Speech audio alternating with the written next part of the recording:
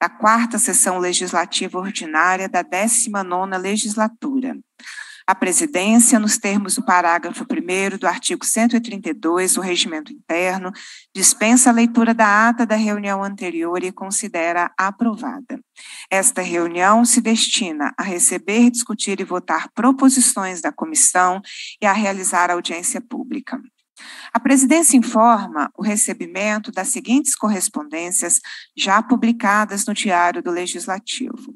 Do senhor Cláudio Rodrigues de Jesus, presidente da Câmara Municipal de Montes Claros, encaminhando manifestação de apoio dessa Casa Legislativa aos servidores estaduais da educação em greve, pelo cumprimento da lei que determina o pagamento do piso salarial nacional da educação. Do senhor Luiz Antônio dos Reis, presidente da Câmara Municipal de Natal Tércia, encaminhando moção de elogio desta Casa Legislativa aos profissionais de educação pública do Estado em luta pela valorização da classe.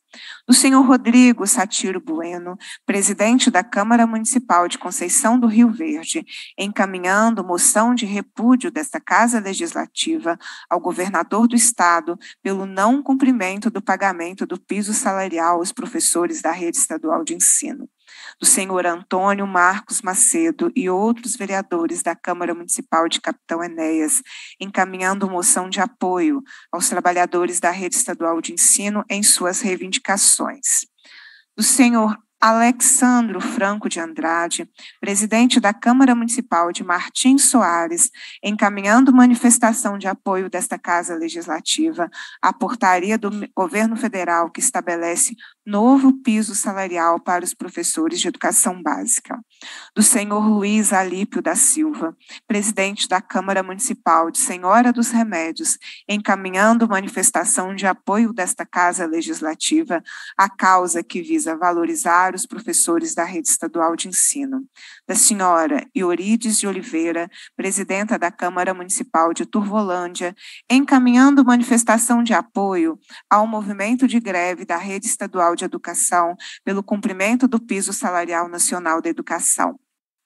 Do senhor Alexandro Franco de Andrade, presidente da Câmara Municipal de Martins Soares, encaminhando moção de apoio ao reajuste de 33,24% do piso salarial Nacional dos Professores da Educação Básica, do senhor Newton César de Almeida, presidente da Câmara Municipal de Barbacena, encaminhando manifestação de apoio ao movimento reivindicatório dos servidores públicos estaduais, em especial à aplicação do piso salarial nacional da educação e ao reajuste das demais categorias dos servidores da senhora Aline de Oliveira Vilela, presidente da, presidenta da Câmara Municipal de Lambari, manifestando seu apoio à greve dos trabalhadores em educação da rede estadual de ensino pela efetivação do pagamento do piso salarial nacional o senhor Antônio Carlos Pracatá de Souza, presidente da Câmara Municipal de Ponte Nova, manifestando seu apoio à greve e à pauta defendida pelos servidores da educação do Estado de pagamento do piso salarial nacional e combate ao projeto de lei 1202 de 2019, que autoriza o Estado, por meio do Poder Legislativo, a aderir ao regime de recuperação fiscal. Do senhor José Reinaldo Braga, presidente da Câmara Municipal de Virgolândia, encaminhando moção de apoio, aprovada pelos vereadores dessa casa, ao reajuste do piso salarial de 2022 dos profissionais de educação do Estado. Do senhor Gerson Pape de Souza, presidente da Câmara Municipal de Pedralva, encaminhando moção de apoio subscrita pelos vereadores que menciona a greve dos trabalhadores e trabalhadoras em educação da rede estadual do senhor Arnaldo José Ribeiro, presidente da Câmara Municipal de Caxambu, e demais vereadores, manifestando apoio desta casa ao movimento grevista da Rede Estadual de Ensino do Estado pelo pagamento do reajuste do piso salarial 2022.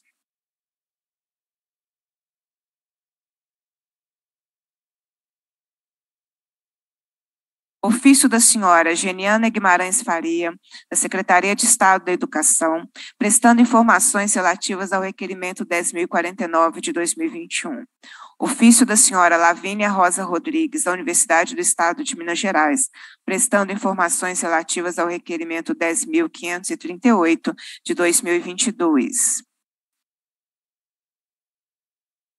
Ofício do senhor Milton de Souza Arcanjo, presidente da Câmara Municipal de Buenópolis, solicitando intervenção desta casa para que seja concedido pelo governador do estado o reajuste do piso salarial aos profissionais da educação, retroativo a 1 de janeiro de 2022 do senhor Edilson Ferreira das Neves, presidente da Câmara Municipal de São Pedro do Suaçuí, manifestando o apoio desta casa à luta dos educadores em favor da educação e ao pagamento a esses educadores do reajuste do piso salarial de 2022.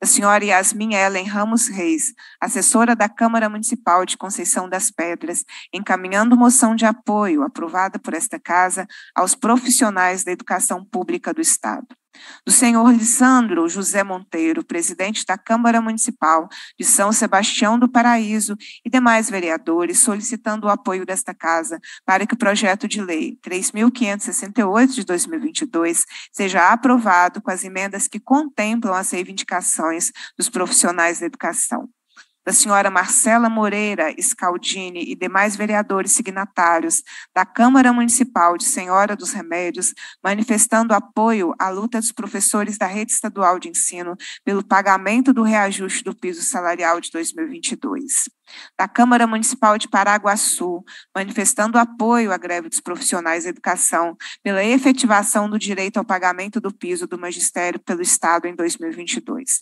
Do senhor Jairo Nogueira Filho, presidente da Central Única dos Trabalhadores de Minas Gerais, CUT-MG, encaminhando manifesto de apoio à greve dos trabalhadores em educação do senhor Paulo Henrique Chester da Silva, vereador da Câmara Municipal de Ouro Fino, solicitando a esta casa providências para que Ouro Fino receba um campus avançado da Universidade Federal de Alfenas em farmácia e odontologia.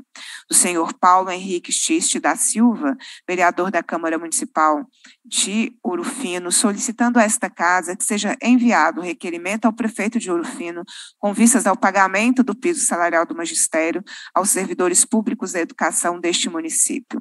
Do senhor Lisandro José Monteiro, presidente da Câmara Municipal de São Sebastião do Paraíso, solicitando que esta casa tome a iniciativa de propor projeto de lei com o objetivo de anistiar as dívidas dos estudantes com o Fundo de Financiamento Estudantil FIES passa-se a primeira fase da terceira parte da reunião, que compreende a audiência pública. Esta audiência tem a finalidade de debater a greve dos servidores da Rede Municipal de Ensino de Itajubá. Nós teremos participação presencial e remota.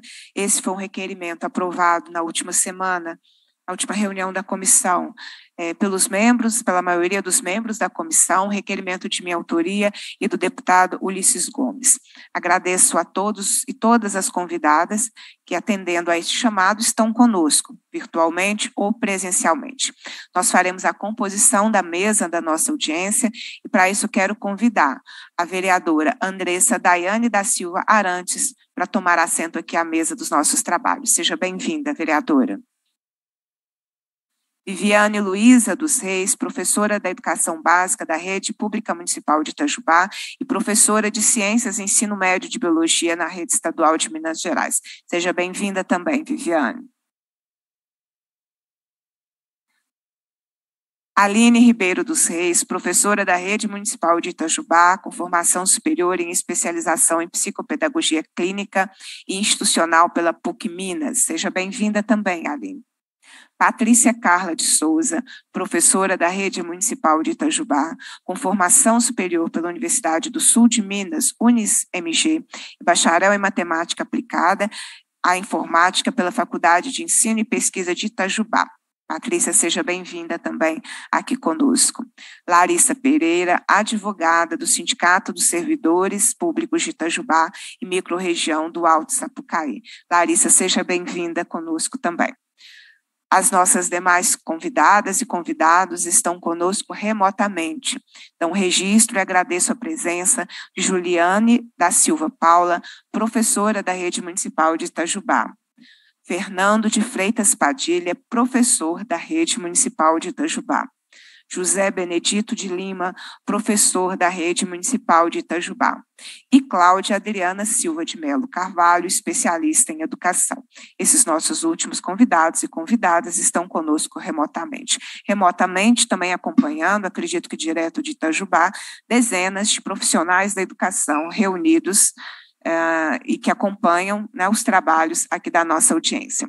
Os, os, nossos dois únicos convidados, que infelizmente não aceitaram, não vieram, é, que foram convidados. Né? Nós convidamos Christian Gonçalves, que é o prefeito de Itajubá, para que ele estivesse conosco, poderia estar presencialmente ou virtualmente, ou indicando um representante. Né?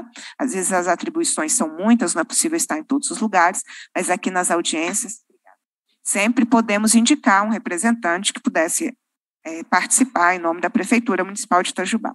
Lamento muito a ausência, porque seria de extrema relevância a presença física ou virtual da Prefeitura Municipal de Itajubá. Também convidado conosco Júnior Fraga Bastos, secretário municipal de Educação de Itajubá, o qual também lamento a ausência, porque essa audiência, ela é para todos nós, né, ela é muito importante por algo que é fundamental, que é a educação, e como é que nós tratamos as nossas profissionais e os nossos profissionais da educação. Nós sabemos que a educação tem recursos vinculados, não só no Estado, como foi o debate do último período aqui na Assembleia e aqui na comissão. Os municípios também têm recursos vinculados. Então, tem recursos do Fundeb, tem recursos do mínimo constitucional. Nós temos um pacto na sociedade desde a redemocratização de que parte dos impostos pagos pela população obrigatoriamente. Precisam ser investidos na educação e na saúde, não podem ser investidos em outras, em outras coisas. O que eu tenho visto é uma completa ausência de transparência no caso do Estado e de muitos municípios, vamos ver se é o caso de Itajubá também, mas a completa ausência de transparência no que se refere aos recursos vinculados à educação, tanto de manutenção e desenvolvimento do ensino, que é exatamente essa esse conjunto de impostos né, que são vinculados à educação, quanto os recursos do Fundeb. É, nós tivemos muitos ah, rateios no final do ano e, lamentavelmente, o governo do Estado se vangloria né, de ter, ter feito rateio é, em 2021. É motivo de vergonha, porque ter sobrado dinheiro ao final do ano significa que o gestor não fez o seu trabalho seu para casa. Quer investir na carreira, na valorização, fazer os reajustes do piso salarial profissional nacional. Mas como a gente está na sociedade do espetáculo, né, do marketing, né, pelo marketing você mente, por, pelo marketing você manipula, então você transforma algo negativo, que foi ser obrigado a fazer rateio, porque juntou dinheiro, juntou dinheiro, foi isso que aconteceu. As comunidades escolares sofrendo né, com a falta de conexão de um trabalho né, de um ensino remoto, os profissionais da educação pagando a conta para trabalhar. Pagou a conta, né? O governo mentiu, o governo Zema mentiu quando disse que deu uma ajuda de custo para pagar a conta de telefone. Ele mentiu, mente à população, é, porque nenhuma professora recebeu ajuda de custo. Vocês vão poder dizer se no município qual foi a infraestrutura, né? Que vocês tiveram durante a pandemia, que vocês têm agora para trabalhar. Então, o que nós enfrentamos durante a pandemia foi a categoria se reorganizando, não gosto dessa palavra, se reinventando, porque nenhuma profissão para ser reinventada, é, mas ela teve que se virar, acho que a melhor palavra é isso, a categoria teve que se virar para atender às necessidades né, do direito à educação durante uma pandemia, sem suporte da gestão pública ou com pouco suporte da gestão pública e tendo que enfrentar, inclusive, discursos ideológicos tentando dizer que a categoria não trabalhou, trabalhou pouco durante a pandemia. Nós enfrentamos isso naquelas discussões sobre educação como serviço essencial, porque a educação ela só é considerada ou discutida serviço essencial para atacar a categoria a essencialidade da educação, para impor relações democráticas de trabalho, negociação coletiva, obrigada, condições de trabalho, aí a educação não é essencial, ela só é essencial para atacar a categoria. Não é? Bom, eu fiz um, é, fiz tecer alguns comentários, mas eu quero dizer que eu estou muito é, contente da Comissão de Educação acolher essa importante rede municipal, essa importante luta. Né? A Comissão de Educação já se posicionou em relação à greve deflagrada pela categoria, nós já aprovamos uma moção de apoio aqui da comissão, requerimento de minha autoria e também do deputado Ulisses Gomes, é, apoiando a categoria que está em luta. Fazer a luta é um direito previsto na Constituição é, e nós temos que zelar por esse direito porque a, o silenciamento, é, o ataque às categorias que lutam, só contribui para relações cada vez mais autoritárias. É, e nenhum serviço público se torna melhor é, silenciando ou amordaçando quem faz a luta. Então, quero iniciar parabenizando toda a categoria pela luta que está sendo feita, é, dizer que tem o meu apoio, é, eu quero pedir desculpas, porque inclusive eu tinha um compromisso com vocês no último sábado, mas tem uma pessoa que me convocou para uma atividade em São Paulo, que foi o presidente Lula, e eu não poderia é, não atender essa importante convocação. Mas fico em dívida com vocês para, numa outra oportunidade, estar presencialmente com vocês é, em Itajubá. Inclusive, a lei né, do piso, né, a 11.738, é, foi proposta e foi sancionada durante o governo do presidente Lula, assim como toda ampliação de, dessa importante rede que nós temos hoje em Minas Gerais, seja de universidades federais, institutos federais, ah, foi durante o governo do presidente Lula. Eu acompanhei em diversas falas e como é reconfortante você ter uma liderança com a projeção mundial, como ele tem, falar de educação, falar de cultura, falar do direito ao emprego, falar de coisas importantes para o povo. Né? Eu, eu, desejo muito que nós voltemos a ter presidentes da República que fale sobre educação, que não e não esse que, ataca é, a educação e os seus profissionais. Sigamos, então, e mais feliz ainda de receber aqui na comissão a Andressa, vereadora da Câmara Municipal, é, parabenizá-la pelo trabalho parlamentar, que eu sei que vocês fazem de uma forma muito coletiva, né? uma forma de pensar a política construída muito coletivamente, então, parabenizar todo o coletivo e o seu trabalho, é, e te passar a palavra, então, para que vocês façam as considerações iniciais. E me permitam uma, uni, uma última observação de contentamento uma mesa de discussão, a mesa física, né, constituída por mulheres. Isso é muito significativo, porque, lamentavelmente, o tempo inteiro tentam nos dizer que nós não temos competência para falar, para explicar da nossa realidade, para liderar os nossos movimentos. Então, tem sempre alguém falando por nós, justificando. Ou a gente acaba de falar, vem uma pessoa, vem é um homem em geral, né? Fala o que nós acabamos de falar.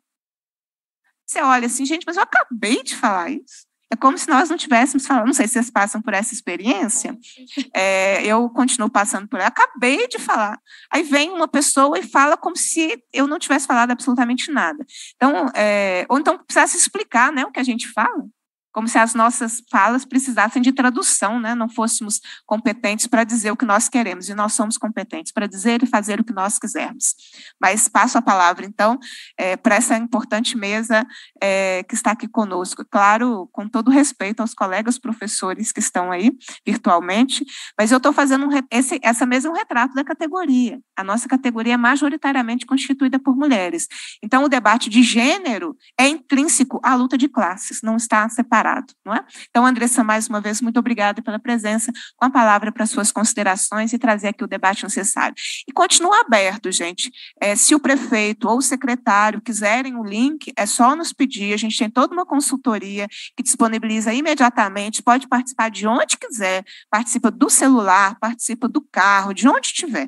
O importante é que nós tenhamos aqui a participação de todos os envolvidos e interessados. Então, reforço meu convite para que durante os debates, quem sabe, sabe, alguém que representa a prefeitura tenha tempo, né, condições e conectividade que possa estar conosco virtualmente, da mesma forma o secretário, se ele tiver outro compromisso, alguém o representando, também será muito bem-vindo ao debate. E ao final, se além da moção de apoio tiver mais algum encaminhamento, nós o faremos e votaremos em próxima reunião da comissão, porque o quórum para votação é diferente do quórum para a realização de audiência pública. Mais uma vez, muito obrigada e passo a palavra para a Andressa, vereadora, Câmara Municipal de Itajubá. Muito obrigada, deputada Beatriz Cerqueira. Muito boa tarde a todos. E, em nome da deputada Beatriz Cerqueira, cumprimento a todos os deputados dessa Casa Legislativa, Cumprimento também de uma forma muito especial o deputado Ulisses Gomes, que estava conosco até então, porém não pôde participar dessa audiência por outros compromissos, mas que junto com a deputada Beatriz Cerqueira, né, solicitaram aí é, a realização dessa audiência pública, que é mais uma ferramenta que nós, né, de Itajubá, temos aí para poder evidenciar todas as demandas, todas as reivindicações que estão movimentando a nossa cidade. Então, agradeço mais uma vez por essa oportunidade.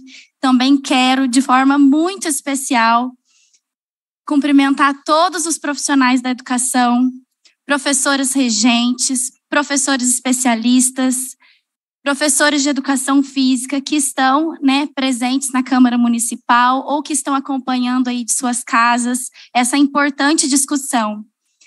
Inclusive, cumprimento vocês, né, é, através aqui das colegas Aline, Patrícia Carla e Viviane, que muito bem representam vocês, já fizeram isso em outras oportunidades e agora não será diferente.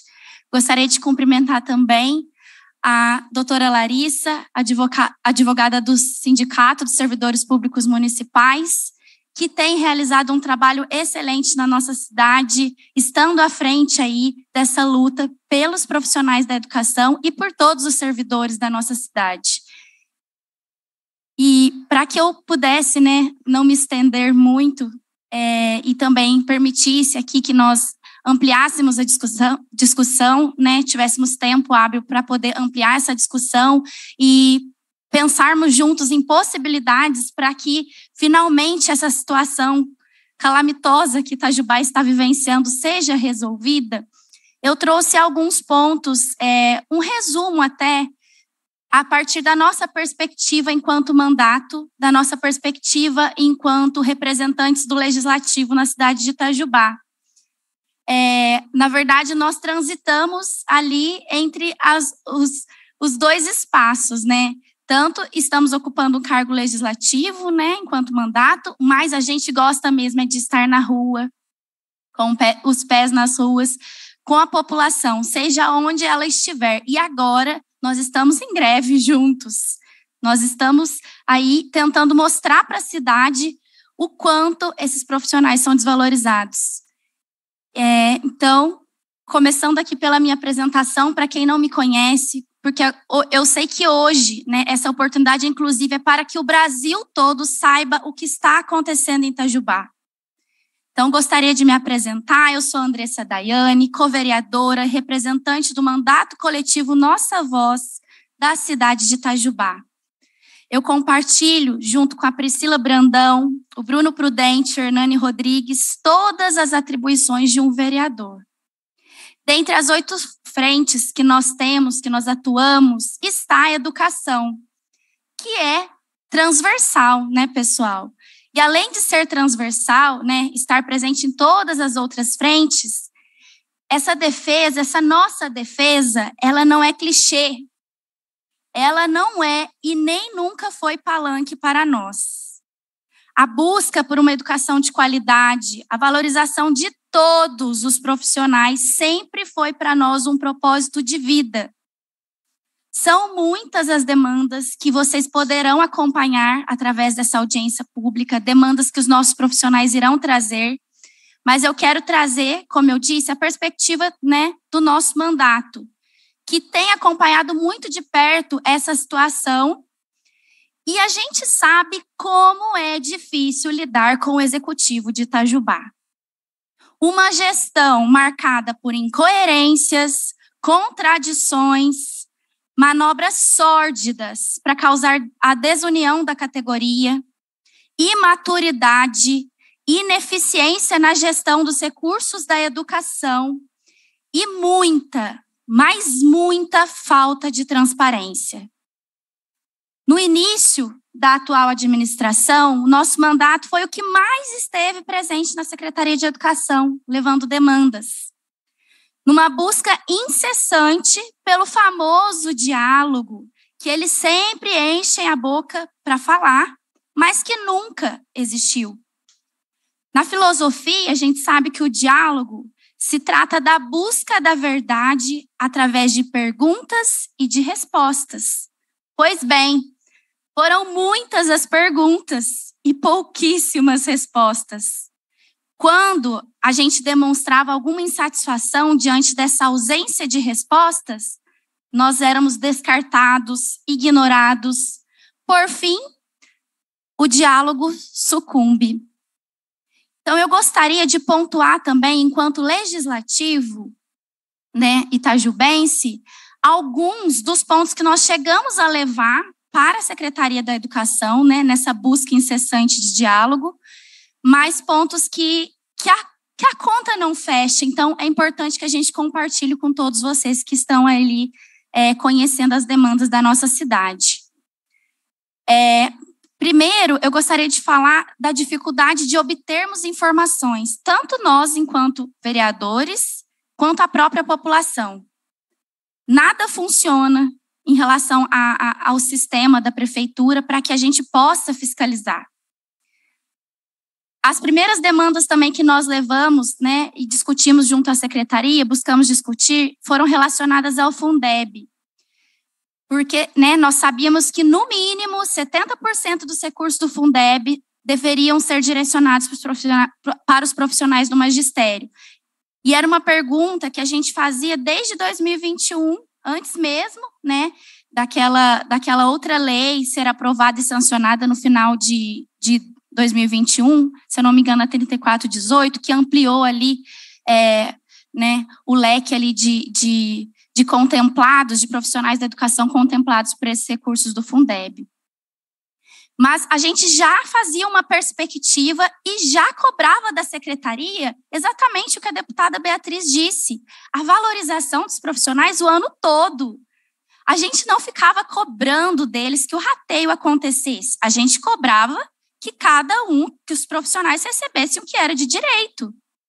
Mas o que nós queríamos mesmo era que eles fossem valorizados o ano todo. Nós cobramos em relação ao conselho do Fundeb, que está até hoje desatualizado. Reuniões do Conselho da Educação, nem ficamos sabendo. Em novembro, questionamos o secretário da Educação em relação ao fato dele ter supostamente recebido o seu salário através do Fundeb 70%.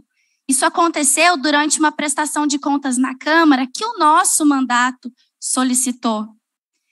E a partir desse questionamento que nós fizemos para o senhor secretário, tanto nós fomos achincalhados por um jornal local, devido a esse questionamento e também devido ao fato de nós termos é, é, questionado Itajubá não ter alcançado, não ter atingido nem os 25% né, que a prefeitura deve destinar de recursos próprios.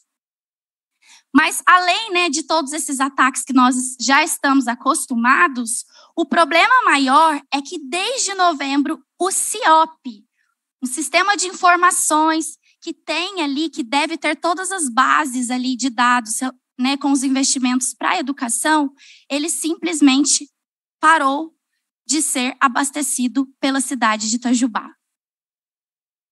Sem contar, né, que a gente tem ali nas nossas leis orçamentárias a intenção de implementação de escolas cívico-militares. Um debate até bem amplo, que não cabe aqui nesse momento, mas que a gente já sabe muito bem que a ideia é militarizar as escolas. E isso está contemplado nas leis orçamentárias, mas valorizar os seus profissionais da educação não está. Um terço dos professores, que está garantido pela lei desde 2008, que o, o, o senhor prefeito né, disse que desconhecia, não sabia que isso não estava sendo atendido. Alunos também estão sendo prejudicados. As meninas vão poder falar um pouco mais sobre isso. Então, gente, essa gestão, o que ela deseja é confundir a população. Existe um mundo paralelo que é o mundo das redes sociais da Prefeitura Municipal de Itajubá. E existe a realidade. E até por todo esse movimento que eles tentaram fazer para desestabilizar as profissionais que estão em greve, estão em greve porque precisam estar em greve, porque tem muita luta, tem muita demanda que não está sendo atingida, né, alcançada. É, eu queria deixar uma mensagem, né, para todas vocês, para todos vocês. Durante os movimentos de greve, nós aprendemos muito, vocês sabem. Nós aprendemos sobre saber com quem contar. Nós aprendemos a fazer das ruas, das feiras, das praças, nossa sala de aula. Os mais de 260 profissionais de Itajubá não estão em greve porque querem.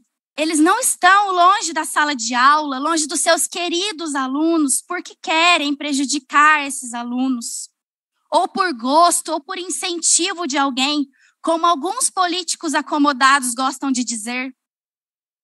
Estar envolvido em uma greve é desgastante, é angustiante. Eu vejo isso de perto. Sinto muito por aqueles que não estão lá para ver. Mas é porque a gente sabe que sem luta não há conquista. Principalmente quando nós temos um governo nada bom nada justo e que não tem os seus profissionais valorizados e muito menos felizes. Por isso nós estamos aqui, unidos a eles, para expor essa situação vergonhosa que a educação da nossa cidade se encontra. Estamos aqui para, para implorar, até implorar, de vocês, deputados, que também são os nossos representantes, que nos ajudem da forma como puderem, para que o Executivo Municipal Itajubense, de fato, acolha todas as reivindicações desses profissionais, para que ocorra um acordo com a categoria. Nós apoiamos as lutas dos profissionais de Itajubá, e isso não é desde ontem. Nossa defesa vem de muito antes dessas gigantes descobrirem o quanto juntas são fortes muito mais fortes. Vem de muito antes de acordarem desse sono profundo. Vem de antes de termos mais de 80% dos profissionais da educação de uma cidade, conhecida como cidade universitária, expressando suas insatisfações para todo o Brasil, que é o que está acontecendo agora. Nossa defesa vem desde quando eu, enquanto professora que sou, fui aprimorando os meus saberes, porque é isso que nós fazemos. Quando a gente reflete sobre a nossa prática e a gente já não aceita mais que minimizem a nossa profissão a algo vocacional ou missionário. E que por isso não nos valorizam financeiramente, socialmente. Vem desde que os profissionais da educação de Itajubá nos procuravam sozinhos, com medo, para fazer denúncias. Traziam cartas anônimas. Na verdade, até hoje eles sofrem ameaças, retaliações, assédio moral. Até hoje, inclusive durante esse movimento de greve, estão sendo menosprezados, expostos, humilhados, seja pela população desinformada, ou por gestores que deveriam representá-los, defendê-los. Eles, eles do Executivo Municipal Itajubense já disseram publicamente, pessoal que acompanha essa audiência pública, eles já disseram publicamente que elas eram meia dúzia de bagunceiras. Já mandaram elas procurarem outro emprego já disseram que direcionar os recursos que por direito eram delas era rasgar dinheiro. Mas não há mais espaço para isso. A luta, ela vai para além da greve. Nós queremos sim uma negociação, mas as gigantes jamais, jamais vão dormir de novo. Com toda certeza, a luta vai continuar e a gente não aceita mais discursos como o que a gente acompanhou do nosso governador na luta que os nossos profissionais da educação enfrentaram no Estado. é, é a mesma, são os mesmos discursos que a gente acompanha do, do Executivo Municipal Itajubense. Mas isso não cabe mais. Eu vou encerrar minha fala, porque agora é a hora de vocês entenderem a fundo tudo, tudo que esses profissionais vivenciam e nada melhor do que ter uma aula, né, junto a eles. Muito obrigada. Nós que agradecemos, Andressa. Eu quero registrar a presença, está conosco remotamente, deputado Ulisses Gomes, e pergunta a Vossa Excelência se já quer fazer uso da palavra.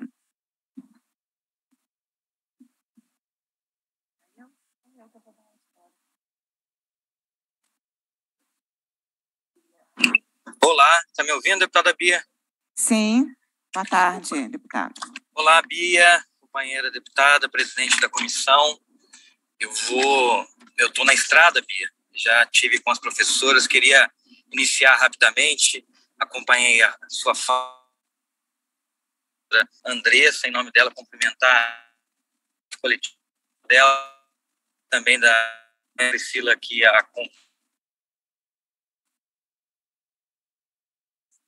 organizar pela iniciativa, te agradecer pelo convite da gente estar assinando junto Infelizmente não coincidiu a oportunidade de eu estar preso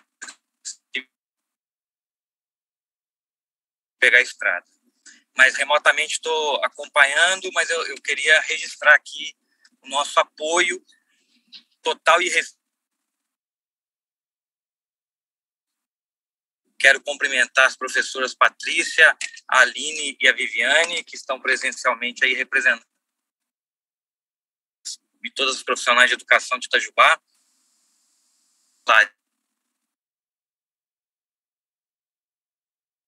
Sindicato dos Servidores Públicos de Itajubá, agradecê-la em nome do sindicato pelo apoio jurídico e todo o apoio a essa greve que tem uma motivação que infelizmente segue princípio, a lógica e o mau exemplo que a gente vive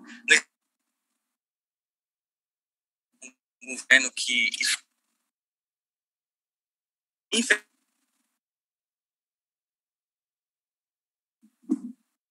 Deputado Ulisses, nós estamos com um problema de conexão, exatamente, Vossa Excelência está em trânsito. Eu vou sugerir que o senhor retorne é, depois, né, com, quando a conexão estiver melhor, para trazer suas contribuições. Pode ser? Acredito que pode. Tá. Ok? É, nós vamos ouvir agora a Viviane Luiza. A Viviane é professora da Educação Básica da Rede Municipal de Itajubá e professora de Ensino Médio de Biologia da Rede Estadual. Viviane, seja bem-vinda. Prazer tê-la conosco com a palavra para suas considerações.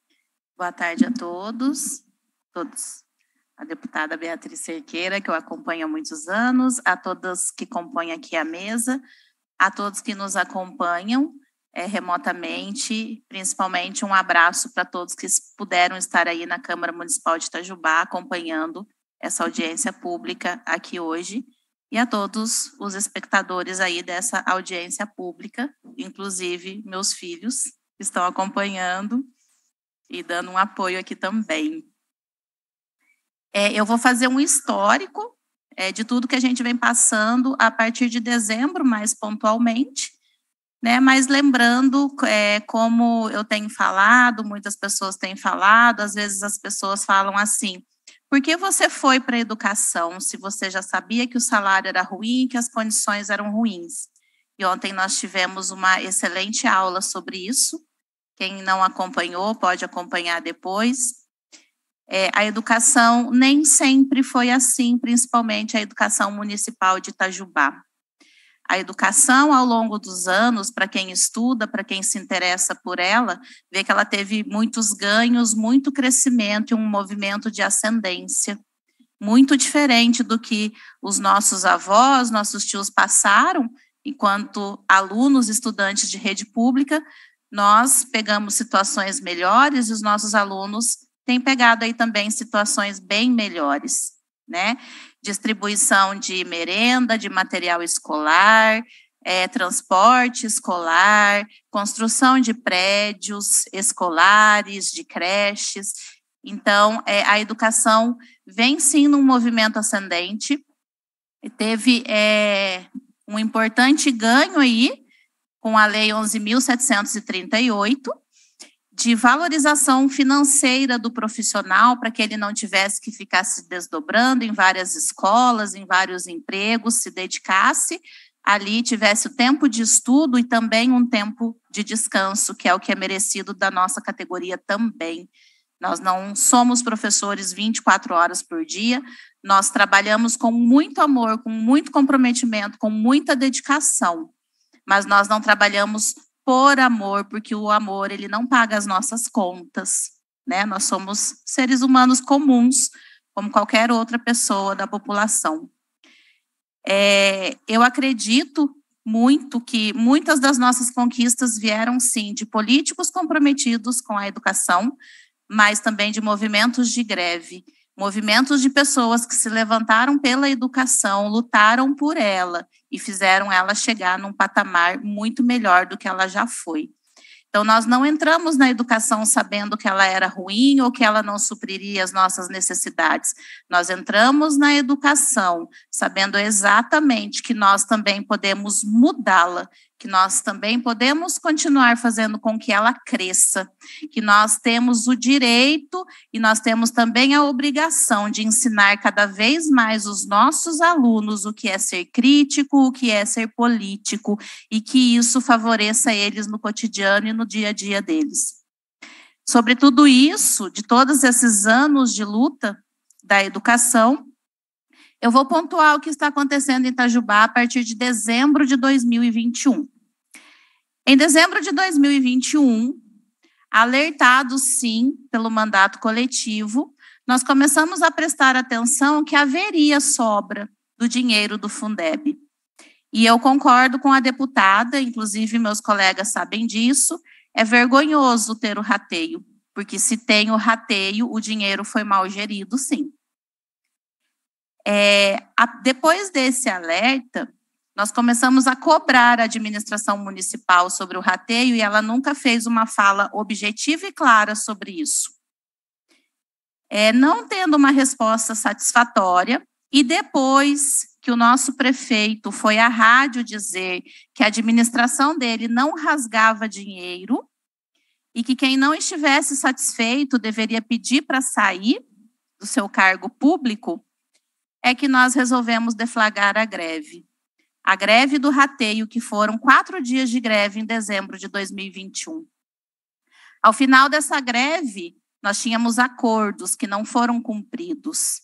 É, o nosso PCC ele seria mexido, o plano de cargos e carreiras, no primeiro bimestre de 2022, e até agora isso não aconteceu. E quando aconteceu, aconteceu sem a participação das comissões que nós também questionamos a sua eleição e de maneira unilateral. É, sobre ainda o rateio, o projeto que foi enviado à Câmara tratava de mais ou menos 5, 6 milhões de reais é, em sobras do dinheiro do Fundeb, dos 70%. E o que nós conseguimos ver após os contra-cheques, após a distribuição do rateio, é que mais ou menos 3 milhões e 600 mil foram disponibilizados nesse rateio e até hoje nós não sabemos para onde foram mais ou menos 2 milhões e 400 mil reais. Nós não sabemos se foi feito superávit ou se ele foi usado em alguma outra demanda, mas não sabemos. Após isso, nós fomos surpreendidos com três folhas de pagamento no mês de dezembro de 2021. A folha normal, a folha de 13º e a folha de férias, que se refere a janeiro de 2022, que é o nosso período de férias.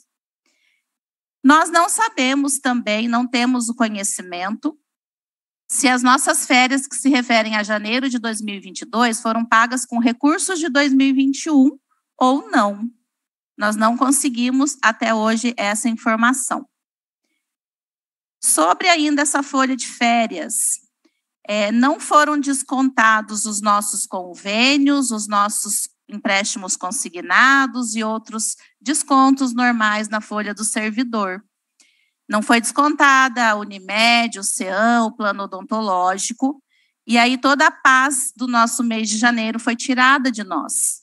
Porque o mês de janeiro, que seria o mês de descanso do professor, de preparação para um novo ano letivo, do retorno de um sistema remoto, ele foi é, desgastando os servidores que tinham que correr atrás de boletos nas suas instituições para que não ficassem inadimplentes, para que não precisassem usar o seu plano de saúde numa emergência e tivessem um atendimento recusado, é, com receio de ter atendimento odontológico recusado, muitos servidores com cirurgias marcadas e sem saber como fazer. Medo de dever para banco, porque o consignado não foi descontado, e ninguém consegue explicar para nós tamanho erro em nossas folhas de pagamento. E a solução para isso, dada pela nossa prefeitura, foi antecipar a primeira parcela do 13º e realizar todos esses descontos. Então, nós já perdemos aí em 2022 a nossa primeira parcela de 13 terceiro. Em janeiro de 2022 também, é, as servidoras dos CEMEIs, os Centros Municipais de Educação Infantil, em contato com o sindicato, que tem tido uma atuação brilhante a partir de 2016, principalmente, elas procuraram o sindicato, foram acolhidas de uma forma que ainda não tinham sido acolhidas, elas foram acolhidas por pessoas que hoje estão no legislativo, numa época que essas pessoas ainda nem ocupavam um cargo, elas foram atendidas por setoriais de educação, foram orientadas sobre a sua situação irregular também, e isso foi judicializado. Após a judicialização, a prefeitura foi intimada. E a partir do momento que a prefeitura foi intimada, ela fez a adequação desses servidores. Inclusive, nós parabenizamos a prefeitura por isso. Ninguém se opôs a isso, ninguém teve inveja ou ficou de mau humor, né? Como muitos querem que se acredite. Então, esses servidores foram adequados ao quadro de magistério mas, juntamente com essa notícia, começou a circular nas redes sociais oficiais da Prefeitura de Itajubá um vídeo que levou a população a crer que todos os servidores do quadro de magistério, a partir daquele momento, receberiam como vencimento os R$ 3.845 do piso nacional, ou seja, teriam ali os seus 33,24% garantido. Só que isso não aconteceu. Esse foi um vídeo que confundiu muito a população itajubense. E cada vez que nós utilizávamos um serviço como Uber, mototáxi, conversávamos com os pais, todos nos parabenizavam, porque a prefeitura estava cumprindo a lei. Mas não, a prefeitura de Itajubá não está cumprindo a lei. Isso precisa ficar bem claro agora, de uma vez por todas porque nós estamos cansados de passar por mentirosos. Mas ninguém vem numa Assembleia Legislativa de um Estado mentir e ser colocado à prova. As pessoas que estão aqui hoje, elas são verdadeiras, elas estão trazendo a informação verdadeira diante de todo o Estado de Minas Gerais. Continuando, Desde este ano, desde janeiro de 2022, o nosso sindicato CISPUME, representado pelo nosso presidente Adilson, a nossa advogada Larissa, enviou vários ofícios à administração municipal solicitando reuniões, solicitando a negociação do nosso piso. Para nós, estávamos satisfeitos com a adequação das meninas, os servidores de CEMEIS, mas precisava resolver a situação de regentes, especialistas e professores de educação física. Nenhum desses ofícios foi respondido.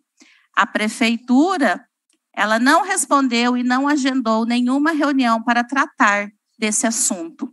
E de vários outros assuntos que estão pontuados aqui também. Nós não queríamos tratar apenas de um reajuste digno para todos os profissionais do quadro de magistério.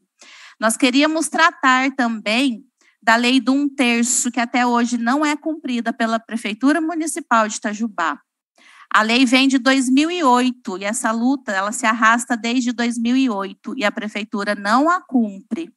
Então, nós não temos ainda, fora normativas que são colocadas todos os anos, o profissional fora da sala de aula, por um terço da carga horária, sem aluno, trabalhando com qualidade porque é para isso que a lei foi feita, para que não estivéssemos na sala de aula, mas estivéssemos no ambiente escolar trabalhando com qualidade, com equipamentos tecnológicos, com internet, com sistemas disponíveis. Isso nós não alcançamos até hoje. Outra demanda que era cobrada da nossa prefeitura são os nossos alunos com deficiência que têm o direito garantido por lei de um professor de apoio e a prefeitura de Itajubá não cumpre essa lei. A prefeitura de Itajubá ela contrata estagiários novatos nos cursos de pedagogia para acompanhar os alunos com deficiência. E não é isso que os nossos alunos têm direito. Os nossos alunos têm direito a professor de apoio capacitado, com salário digno, atendendo eles no tempo que eles estão dentro da escola. Então, é outro descumprimento da lei. E o quarto ponto é o nosso plano de cargos e carreiras, que está completamente desatualizado, que não corresponde mais ao que as leis federais ordenam e mandam. Então, todas essas demandas eram levadas à prefeitura, que simplesmente as ignora. Logo depois, né, que o prefeito soltou esse vídeo aí na recusa de atender o sindicato e a comissão que foi formada para tra tratar desses assuntos, representando os servidores do quadro de magistério, Deu entrada a PL, que concedia o reajuste geral de 10,06% aos servidores do, estado, do município de Itajubá, e um projeto que tratava do reajuste do quadro de magistério. O quadro de magistério estava excluído a princípio do reajuste geral. A princípio ele estava excluído, vocês vão entender por que, que depois ele foi incluído e excluído novamente. Diante de todas as recusas da Prefeitura Municipal de atender uma comissão que representava especialistas, regentes, professores de educação física para tratar dessas demandas, os profissionais da educação se organizaram novamente, porque a nossa greve de 2021, dezembro de 2021, ela foi um exemplo de elegância, de postura e de ética. E nós nos organizamos novamente para no dia 19 de março fazermos uma nova manifestação. Já que o prefeito não nos chama para o diálogo, nós iríamos para a rua novamente. 19 de março é o aniversário de nossa cidade. Muitos políticos estariam em nossa cidade, haveria festividades em vários bairros dela. Por isso programamos essa manifestação. Porém, ao saber dela, o prefeito chamou a comissão montada para o diálogo e negociação às pressas em seu gabinete no dia 18 de março. E foi às pressas mesmo. Eu estava em sala de aula e foi comunicado às 13 horas que a reunião seria às 15 horas e 30 minutos. Melhor, às 16 horas. No dia 18 de março, ao adentrar o gabinete, imediatamente o prefeito ofereceu para a categoria a inclusão do quadro de magistério no reajuste geral de 10,06%. Ou seja, os servidores do quadro de magistério receberiam um reajuste diferenciado na tabela proposta pela prefeitura, que variava entre 9% e pouco mais de 15%, mais os 10,06% de reajuste geral, mais o cartão alimentação, com um reajuste aí de mais de 20%, e um plano de saúde. Em troca, não teríamos manifestações e nem deflagraríamos a greve na Assembleia marcada para o dia 21 de março, três dias depois. Por uma questão de isonomia, a PL que tratava do quadro de magistério seria retirada da Câmara pelo líder do prefeito para que houvesse uma readequação naquela tabela. E uma nova reunião seria agendada em até 15 dias antes da PL ir novamente à Câmara. Então, É, nós fechamos esse acordo, não houve a manifestação, e após esse acordo, a prefeitura novamente ignorou os servidores regentes, especialistas e professores de educação física. Nesse meio tempo, nós descobrimos né, que sobre o nosso rateio foi descontado imposto de renda de 27,5%, sendo que ele não é tributável. E também descobrimos que o CIOP não é mais alimentado desde novembro de 2021. Depois de muita insistência, o prefeito nos atendeu, mas nunca para negociar, nunca para dialogar. O prefeito apenas impunha o que ele queria e voltou atrás na negociação do dia 18 de março, nos excluindo de novo, praticamente, do reajuste geral, já que só daria a tabela. Para concluir, eu quero esclarecer novamente que nunca houve diálogo Houveram reuniões para manobras para jogar a população contra os profissionais de educação. Servidores contra servidores, essa é a prática que nós estamos vivendo, imposição de suas vontades, desconsiderando que nós não tivemos nenhuma recomposição em 2021, perdemos poder de compra e ano após ano nosso vencimento regride. A educação de Itajubá, que foi reconhecida como excelente no cenário nacional, hoje é tratada de forma cruel, covarde, sob o silêncio do Conselho Municipal de Educação e do Conselho do Fundeb, incentivada a abrir mão do sindicato que os representa para negociar diretamente com o gestor e também incentivada a abrir mão das orientações que são dadas pelos políticos que se preocupam com nossa história, nos respeitam e nos apoiam em busca da educação pública de qualidade. Então, eu encerro a minha fala deixando claro aqui que essas são as informações verdadeiras que nós estamos no nosso direito de greve e que nós temos uma história a ser respeitada e que nós queremos Itajubá novamente no auge da educação pública de qualidade, como ela foi há anos atrás. Muito obrigada a todos. Viane, nós que agradecemos. Passo a palavra agora, a gente vai para uma participação remota. É, vou chamar o Fernando de Freitas, ele está conosco remotamente. O Fernando é professor da rede municipal, para que ele traga as contribuições ao debate. Nós estamos combinando, Fernando, de participações em até 10 minutos, tá bem? Bem-vindo, com você a palavra para suas considerações. É, boa tarde a todos. Estão me ouvindo? Sim. Boa tarde, deputada. Beatriz Cerqueira, né, o Ulisses Gomes, que também fez uma participação conosco, né, é, parabenizar, né, a comissão dos professores que estão aí nos representando muito bem, é, a doutora Larissa, né, através do sindicato, é, a vereadora Andressa, né, sempre presente e aí junto com nós desde o início nessa luta, né, e todos os professores que estão em casa, né, é, nos acompanhando e também é, grande parte da população de Itajubá que tem interesse nesse assunto que está sendo tão debatido na nossa cidade é, nos últimos meses e no último ano, né? Bom, é, eu sou né, um representante, dentro da comissão, eu sou um representante dos professores de educação física, né? Mas a nossa comissão é uma comissão muito unida, né? É, as demandas são muito parecidas, né? Até queria parabenizar a Viviane pela fala e o histórico que ela e também a Andressa trouxeram, né? Porque é, é perfeitamente, é exatamente isso que elas pautaram, tudo que vem acontecendo desde o início. Né? Então, eu não precisaria nem acrescentar nada em relação a esse histórico, porque é exatamente isso que as duas pautaram até, até o momento. Né? É, mas, como representante dos professores de educação física né, e membro da comissão, eu vou fazer algumas, alguns levantamentos aí dentro desse prazo de 10 minutos que eu tenho para poder fazer minhas observações. Então, assim, algumas demandas dos professores de educação física, assim como dos outros profissionais, né, passa pelo plano de carreira.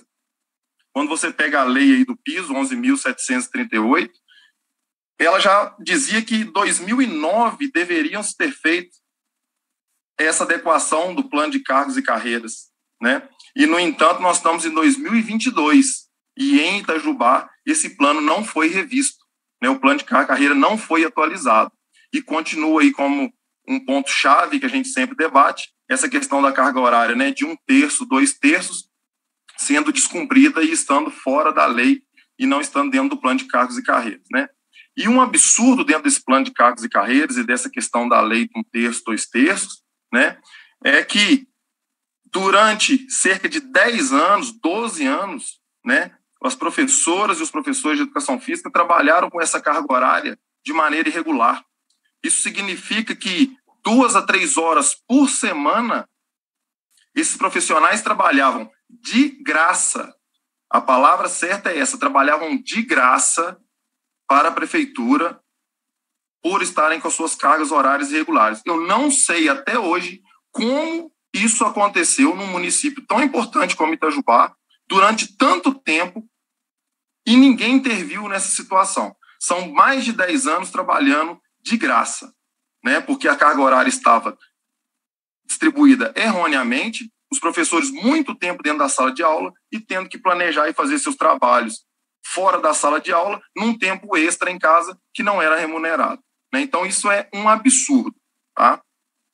E aí, é, dentro dos, dos quesitos dos professores de educação física também, né, nós temos várias demandas. Né? Nós temos a questão que foi levantada sobre os professores de apoio, né? nós saímos da sala de aula para espaços abertos com é, muitos alunos, 20 e poucos alunos por turma, né? e algumas turmas nós temos três, quatro crianças com necessidades é, especiais, né, com atenção especial.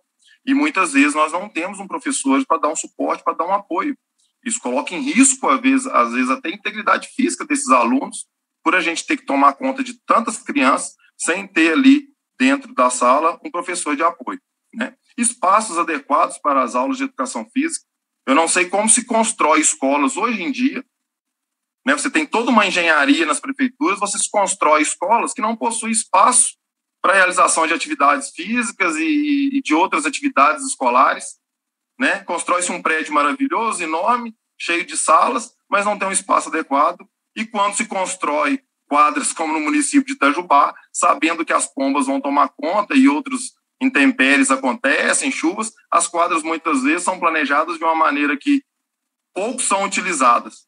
Né? Nós temos quadras aqui que ficaram dezenas de anos sem poder ser usadas por conta de pombos, né? e nada foi é, feito. Então, essas questões de trabalho, de, de melhores condições de trabalho, são recorrentes na nossa cidade. E aí, agora, entrando um pouco sobre as demandas salariais, né, que é o que mais se debate e, e, e se cria tanto problema, né, é, eu tenho uma fala que eu, eu, eu falo sempre isso nas nossas reuniões é, eu não gosto nem de ver escrito nas faixas piso salarial, porque piso salarial é o menor valor que pode ser pago. Né? Como que uma categoria pode festejar? Como que a gente pode estar aqui brigando tanto? Como que pode prefeitos fazerem é, é, propaganda política de estar cumprindo um mínimo? É o menor valor que pode se oferecer a um profissional da educação. Então a gente era para ter, na verdade, vergonha de estar tá debatendo e de estar tá cobrando, e os políticos tinham que ter vergonha de anunciar que está pagando um piso salarial. Nós deveríamos estar discutindo aqui coisas além do piso. Nós deveríamos estar discutindo aqui um teto salarial para os profissionais da educação, né? Mas não, nós estamos discutindo em 2022 o menor valor que pode ser pago a um profissional de educação. E isso muitas vezes é usado como marketing. Né? Chega a ser é, uma piada você ouvir isso e dói nos meus ouvidos toda vez que eu vejo um grande debate sobre piso salarial. Mas, enfim, sigamos. Né? Aí, para os professores de educação física e também para os especialistas em educação, na tabela que foi apresentada pelo prefeito, né, é, como uma forma de reajuste salarial, veio 0%. Sinceramente, eu não conheço um reajuste de 0%. Para mim, 0% é nada. Então, você colocar numa tabela com a categoria vai ter 0% de reajuste, eu não consigo entender. Porque os 10%, que foi até falado pela Viviane, né, como reajuste, na verdade não é um reajuste. Os 10% dado para todos os funcionários da prefeitura é uma recomposição salarial. Isso não é reajuste. Recomposição salarial é um direito garantido ao funcionário público. devido à inflação, né? Reajuste salarial é aquele que promove um ganho salarial realmente, aonde o servidor passa a ter um maior poder de compra e de consumo e um ganho em seu salário em relação à inflação. Né? Então, se você tem 10% de recomposição da inflação, que é um direito, e você tem na tabela 0%, a sua categoria tem 0%, então você não teve reajuste algum. Mas através de fake news, a gente vê a nossa prefeitura aqui fazer propaganda em vários veículos de comunicação de que os profissionais de educação física especialista tiveram reajuste. Eu não sei qual, de 0%, né? Mas, enfim. É, eu gosto sempre de voltar um pouquinho aqui na lei do piso, porque tem coisas importantes que eu sei que né, a deputada e as pessoas da comissão estão cansados de debater essa lei, mas a população e os colegas de trabalho que não participam dessas comissões, às vezes têm dificuldade no entendimento. Então, eu gosto de voltar sempre um pouquinho nela e ver, e ver os pontos chaves.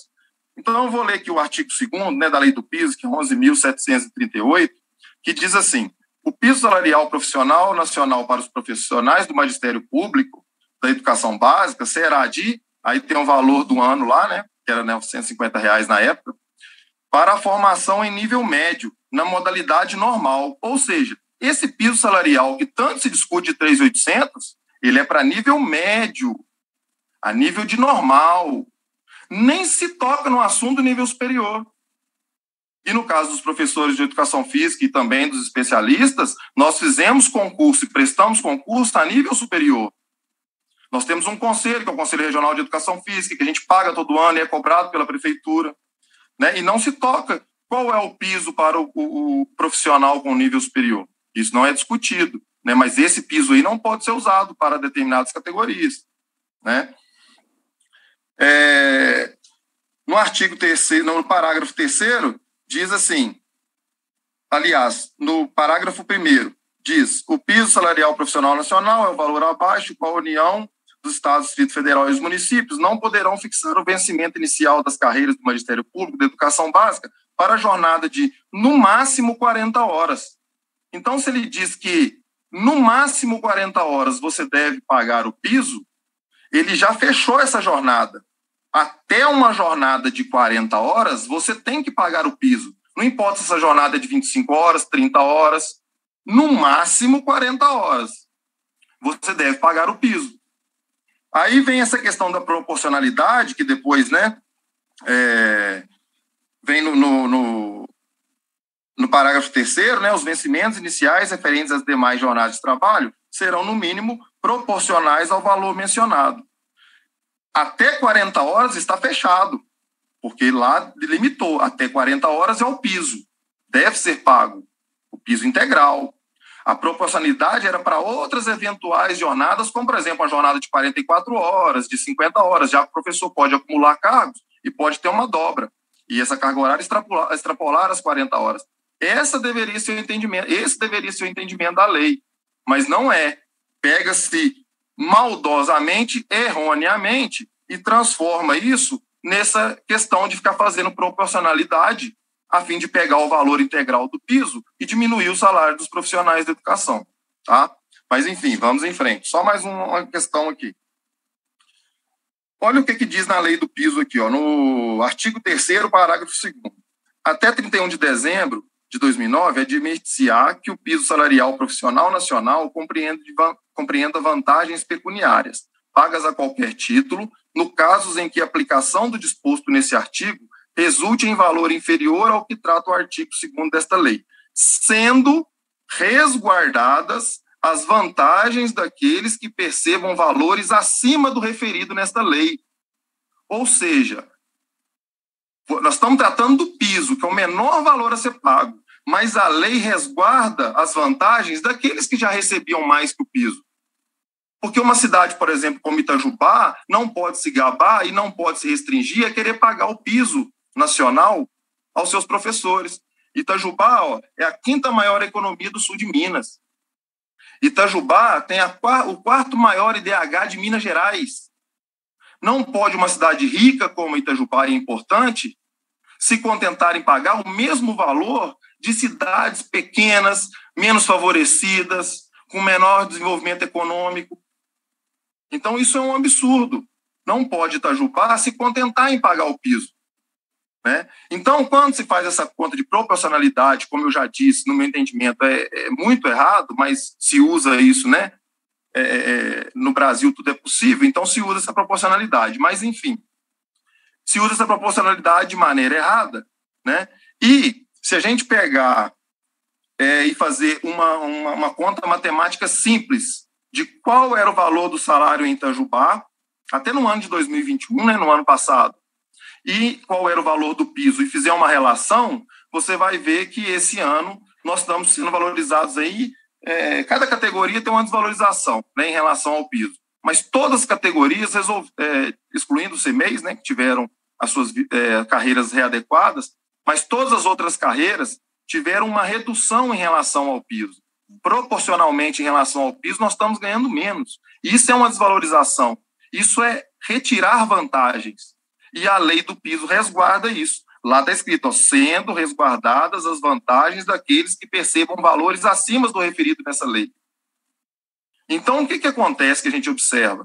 A lei do piso, essa lei 11.738, ela é um ganho para a educação. Ela foi criada com o intuito de valorizar o profissional de educação e de resguardar né, todas as distorções que havia no Brasil. O Brasil é um país continental, nós temos áreas com muita dificuldade econômica.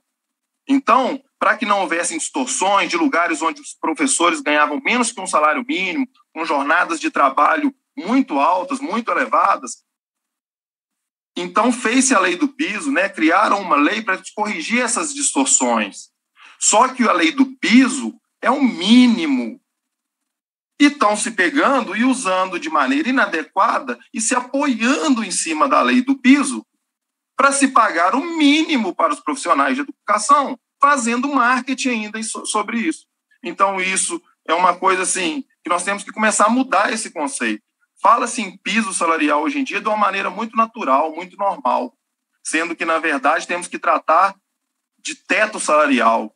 Né? Nós temos que pegar regiões, cidades como Itajubá, como o sul de Minas, regiões ricas do nosso país, não pode se contentar em, ficar discutindo piso salarial, que é o menor valor, o qual todas as cidades do Brasil, as menores delas, as mais favorecidas, serão obrigadas a pagar esse mesmo valor.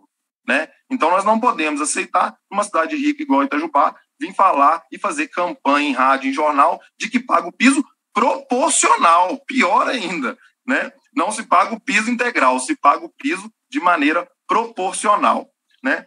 Então, assim, é, para fechar minha fala, né, o tempo é, é limitado, mas é, só entrando na questão do que vem acontecendo em Itajubá, o que tem desgastado os professores e uma coisa que mais chateia é a gente ver o empenho dessa gestão, o empenho dessa gestão para ir contra os professores. São criações de vídeos, são notícias divulgadas de maneira é, é equivocadas, de maneira não transparentes, que levam a população é, é, a uma dúvida do que está acontecendo, bagunça a cabeça da população, né? Então não tem transparência, é, é, criação de fake news. Todo dia que você abre as mídias sociais tem fake news. Então, isso é um absurdo. Né? Eu acho que alguém, eu não sei qual representante seria responsável por isso, mas é, é isso que vem acontecendo é muito ruim para a população. A população está desinformada. Na verdade, ela recebe todo dia um monte de informações, mas essas informações elas são manipuladas de uma maneira que dá a entender uma coisa que não é verdade né? A população assim fica sem saber o que está acontecendo, né? E cria-se um mauê, uma bagunça na cidade, aonde não se tem mais paz para trabalhar na educação. Né? Então, é, é, é, péssimo, é lamentável você ver uma postura de uma gestão, você vê um prefeito, você vê um secretário de educação, você vê é, é pessoas apoiando um tipo de trabalho desse. Né? Um trabalho que, que é, é só atrapalha o desenvolvimento da cidade, né? Eu, não, eu posso falar aqui que é, eu, eu, não, eu não tenho muito tempo em Itajubá, tem 12 anos que eu moro em Itajubá, mas é, é uma gestão lamentável para a educação de Itajubá e isso tem que ficar registrado. Tá? É, muito obrigado né, pela atenção de todos. É, passo a palavra novamente para a deputada Beatriz Cerqueira e agradeço é, poder estar aqui com vocês compartilhando meus pensamentos e a gente está discutindo um pouco mais sobre esse assunto. Muito obrigado. Professor, nós que agradecemos. Muito obrigada, Fernando, pela contribuição. Nós vamos continuar virtualmente com chamando o professor José É, confirmando aqui, nós vamos convidar o professor especialista em educação José Benedito, de Lima, ele está conosco virtualmente, ele e dezenas de colegas, né, que eu estou vendo aqui, vocês estão todos organizadas, participando da audiência, quero aproveitar e cumprimentá-las e parabenizá-las pela luta, é, espero que, de alguma forma, a nossa audiência possa contribuir é, na mobilização e organização. Professor José Benedito, com a palavra. Chamando o professor José... É,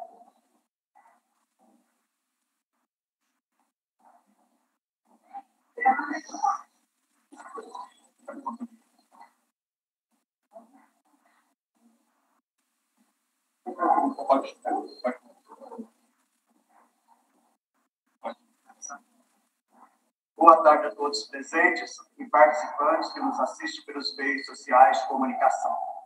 Sou especialista em educação, represento 32 especialistas em educação concursados Quero explicar quem somos e também o lugar legítimo qual ocupamos no quadro magistério de Itajubá.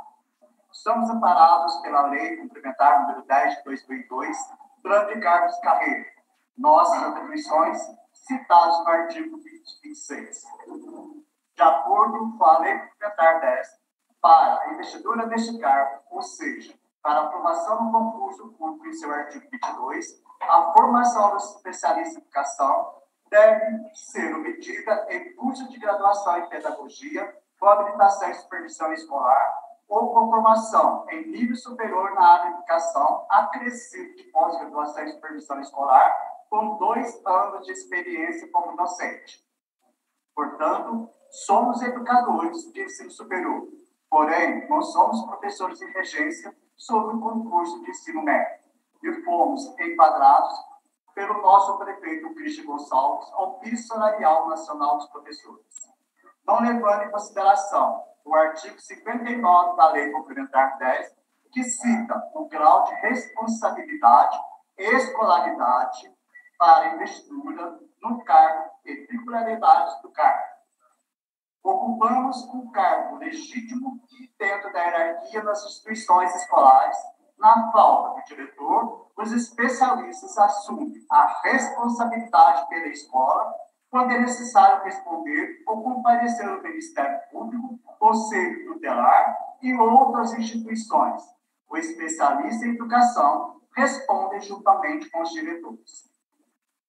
Mediante esse cenário legal e no papel do especialista em educação do município de Itajubá, questionamos a legitimidade da tabela de vencimentos apresentada pelo projeto complementar número 121 de 2022, aprovado pela Câmara Municipal de Itajubá, que dispõe sobre o piso salarial profissional do Magistério Público Municipal de Educação Básica.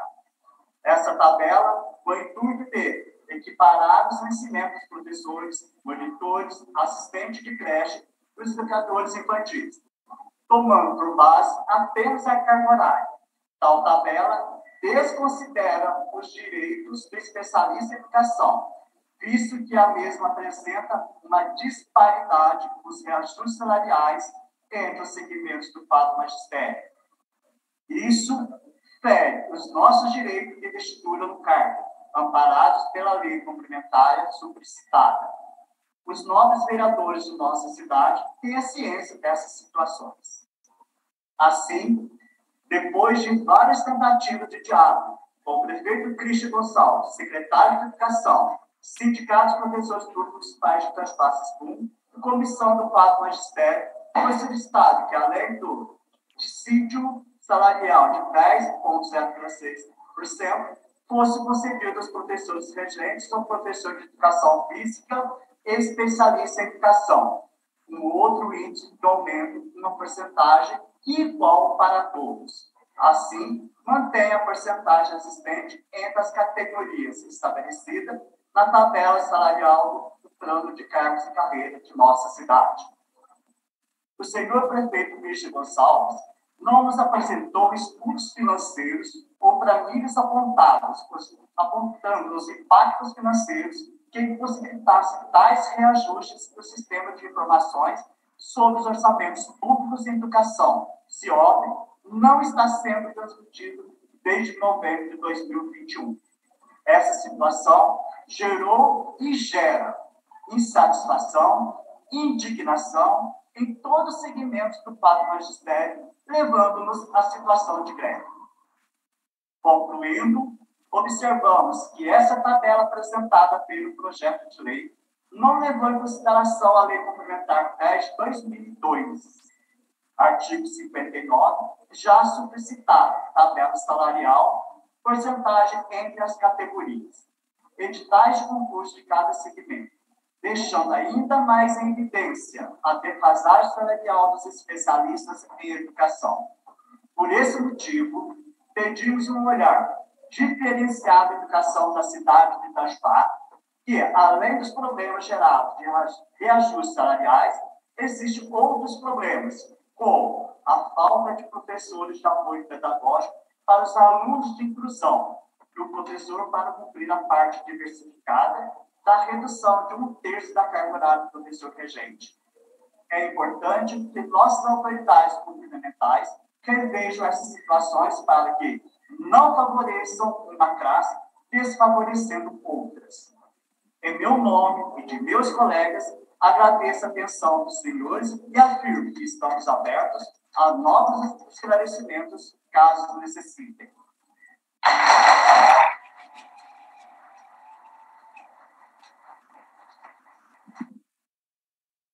Professor, muito obrigada e obrigada a todas que estão aí com o senhor também.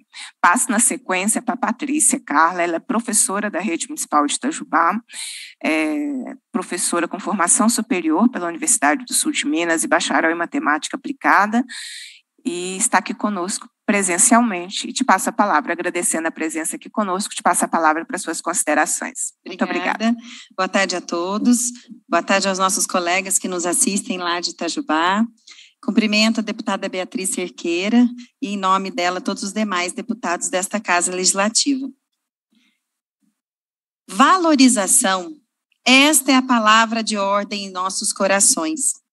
É a busca e o alento dos profissionais em qualquer que seja a sua função. Mas para nós, educadores, ela tem um gosto todo especial. Afinal, quando escolhemos o magistério, apostamos numa profissão que se move a partir do desejo de contribuir para o processo civilizatório. Valorizar um professor é uma tríade de formação, carreira e salário.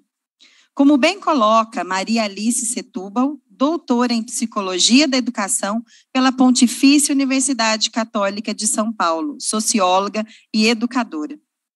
Durante a pandemia, nós, professores, tivemos que nos desdobrar para adaptar os conteúdos, descobrir novas metodologias e novas ferramentas de ensino. Isso levanta uma importante discussão sobre educação no país. O reconhecimento e a valorização da carreira docente. Não se conseguiu anular a função do professor. Muito pelo contrário, nunca se evidenciou tanto sua imprescindível atuação junto aos, aos alunos. Cito aqui alguns trechos da carta da professora Desimara Trindade, lida no uso da tribuna popular em nossa Câmara Municipal. Como profissionais, nos preparamos, estudamos permanentemente, porque é preciso entender o humano, acompanhar as ciências que nos fornecem fundamentos para que o nosso ensinar favoreça o aprendizado individual e social de tantos e tantas. O exercício da docência é um constante movimento de ensinar e aprender. Aprendemos para melhor ensinar, e ao ensinar, nos exigimos aprender e apreender o outro, o mundo, o estar sendo em comunhão, como já nos ensinou Paulo Freire. A docência é ação exigente, é postura inquiridora, escuta cuidadosa. Por isto, ser professor, professora, é um estar sendo, porque jamais acabado e sempre em construção. É pela docência respeitada, valorizada, que sedimentamos o caminho da qualidade da educação. Não há educação de qualidade sem uma docência amparada em uma gestão administrativa e pedagógica que valorize a reflexão, a autonomia, a participação e a formação continuada do professor e da professora. Não há educação de qualidade sem um plano de carreira digno que sustente a permanente necessidade de aperfeiçoamento e motivação para dirigir o processo ensino-aprendizagem e para garantir o bem-estar docente no trabalho. Não há educação sem um salário à altura de uma profissão tão fundamental e tão exigente. E ser docente no município como Itajubá, reconhecida pela qualidade de sua educação, nos clama a sermos sempre melhores como seres humanos e como profissionais qualificados. Uma cidade educadora cuida de seus docentes, valoriza-os e garante todas as condições materiais para que a educação seja mesmo elemento identitário. Respeito. Outra palavra riscada do repertório da atual gestão. Desde as ofensas em não está satisfeito, pede conta, até o jogo sórdido de colocar uma categoria contra a outra. Promovendo, assim, uma guerra de retóricas para confundir a população. Aliás, a grande vítima, além dos professores, tem sido a população. Quem está gerenciando uma rede educacional, o mínimo que se espera é o uso continuado da palavra respeito respeito por seus profissionais da educação, respeito pela função determinante desses formadores, mediadores e construtores de futuro. E o que está acontecendo em Itajubá? Conto através da linguagem literária, como uma fã incondicional da literatura, e vendo nela a possibilidade de passar uma mensagem pelas entrelinhas do fantasioso, Vou aqui iniciar uma pequena história. Numa cidadezinha do sul de Minas, uma empresa tinha quatro funcionários, cada qual com suas atribuições e carga horária diferentes, mas dentro de uma mesma pasta, a educação. Para cada cargo, um pré-requisito, uma atribuição diferente, todas escolhidas espontaneamente. Muitos anos passaram e algumas situações foram acontecendo que levaram a perdas significativas de real remuneração de cada funcionário. Certo dia, o chefe maior, que estava numa esfera acima deste patrão, ordenou que fizesse uma organização desses valores. Estaria corrigindo a perda que havia detectado e solicitou o repasse desse reajuste. O bom e responsável gestor iria fazer a distribuição de forma justa, levando em consideração a especificidade de cada concurso prestado, o que foi necessário para se chegar a tal profissão, o estudo e a instrução necessária para cumprirem as competências e atribuições pertinentes a esses cargos. Então, distribuiria de forma coerente este reajuste, conforme suas possibilidades e sendo fiel e transparente com suas contas. Mas aconteceu que esse gestor em questão só olhou para um ponto, a carga horária trabalhada. Ele se preocupou com uma categoria que estava, sim, com anos de prejuízo, mas desconsiderou todos os demais de maneira deliberada não mostrou claramente o valor disponível para fazer esse reajuste, escondeu informações muito importantes que ajudaria a dar mais credibilidade à sua ação. E com isto provocou a indignação dos não contemplados. Pois afinal, por quais motivos eles não mereciam ser valorizados? Não mereciam receber esse ajuste digno? Até foram questionar. O procuraram, pediram uma solução mais coerente com as suas realidades profissionais, mas sem sucesso. Não foram ouvidos, não houve cumprimento de acordos, pelo contrário, se rompeu com combinados, com palavras dadas e causou um verdadeiro quadro de caos. Essa história poderia ser apenas mais uma narrativa fantasiosa, mas ela tristemente retrata a realidade dos profissionais da educação de Itajubá. O projeto, sancionado esta semana, não proporciona a verdadeira valorização, mas sim evidencia uma desvalorização. Segundo o Banco Mundial, são consideradas pobres as pessoas que vivem uma renda, com uma renda mensal per capita inferior a 469 por mês, dados de 2021. Segundo nos propõe o executivo do município de Itajubá, o base inicial seria de pouco mais de 58 reais acima da linha da pobreza para um professor ou uma professora com uma família de cinco membros. Essa é a valorização que Itajubá oferece a um pai, a uma mãe de família, a um profissional da educação? O que nos espera, de acordo com esta projeção, é, em alguns poucos anos, se nada for feito, a miséria. E o que nos é pedido é assistirmos totalmente inertes à derrocada silenciosa da valorização do professor. Essa derrocada está ali, logo ali, logo em frente, esperando-nos para a miséria. E nós está cabendo a culpa da greve. Em nós está cabendo a culpa do nosso grito por respeito, por valorização. Mas o que estamos aprendendo com essa greve? Estamos aprendendo o sentido da coletividade, da importância de exercermos nossos direitos na busca de melhores condições de trabalho. Não vamos nos calar. Estamos aprendendo e vivenciando o direito de dizer, de conquistar o nosso valor como sujeitos de nossa história. Por isso, irmanados, seguimos na luta pela qualidade da educação da cidade de Itajubá. Somos professores e professoras e a docência é nosso mais requintado ofício. E é deste lugar de fala e de vida que exigimos o respeito que nos é devido. Afinal, tudo começa na educação infantil e nos primeiros anos de escolaridade, como a aprendizagem dos afetos, da solidariedade, da honestidade, da democracia.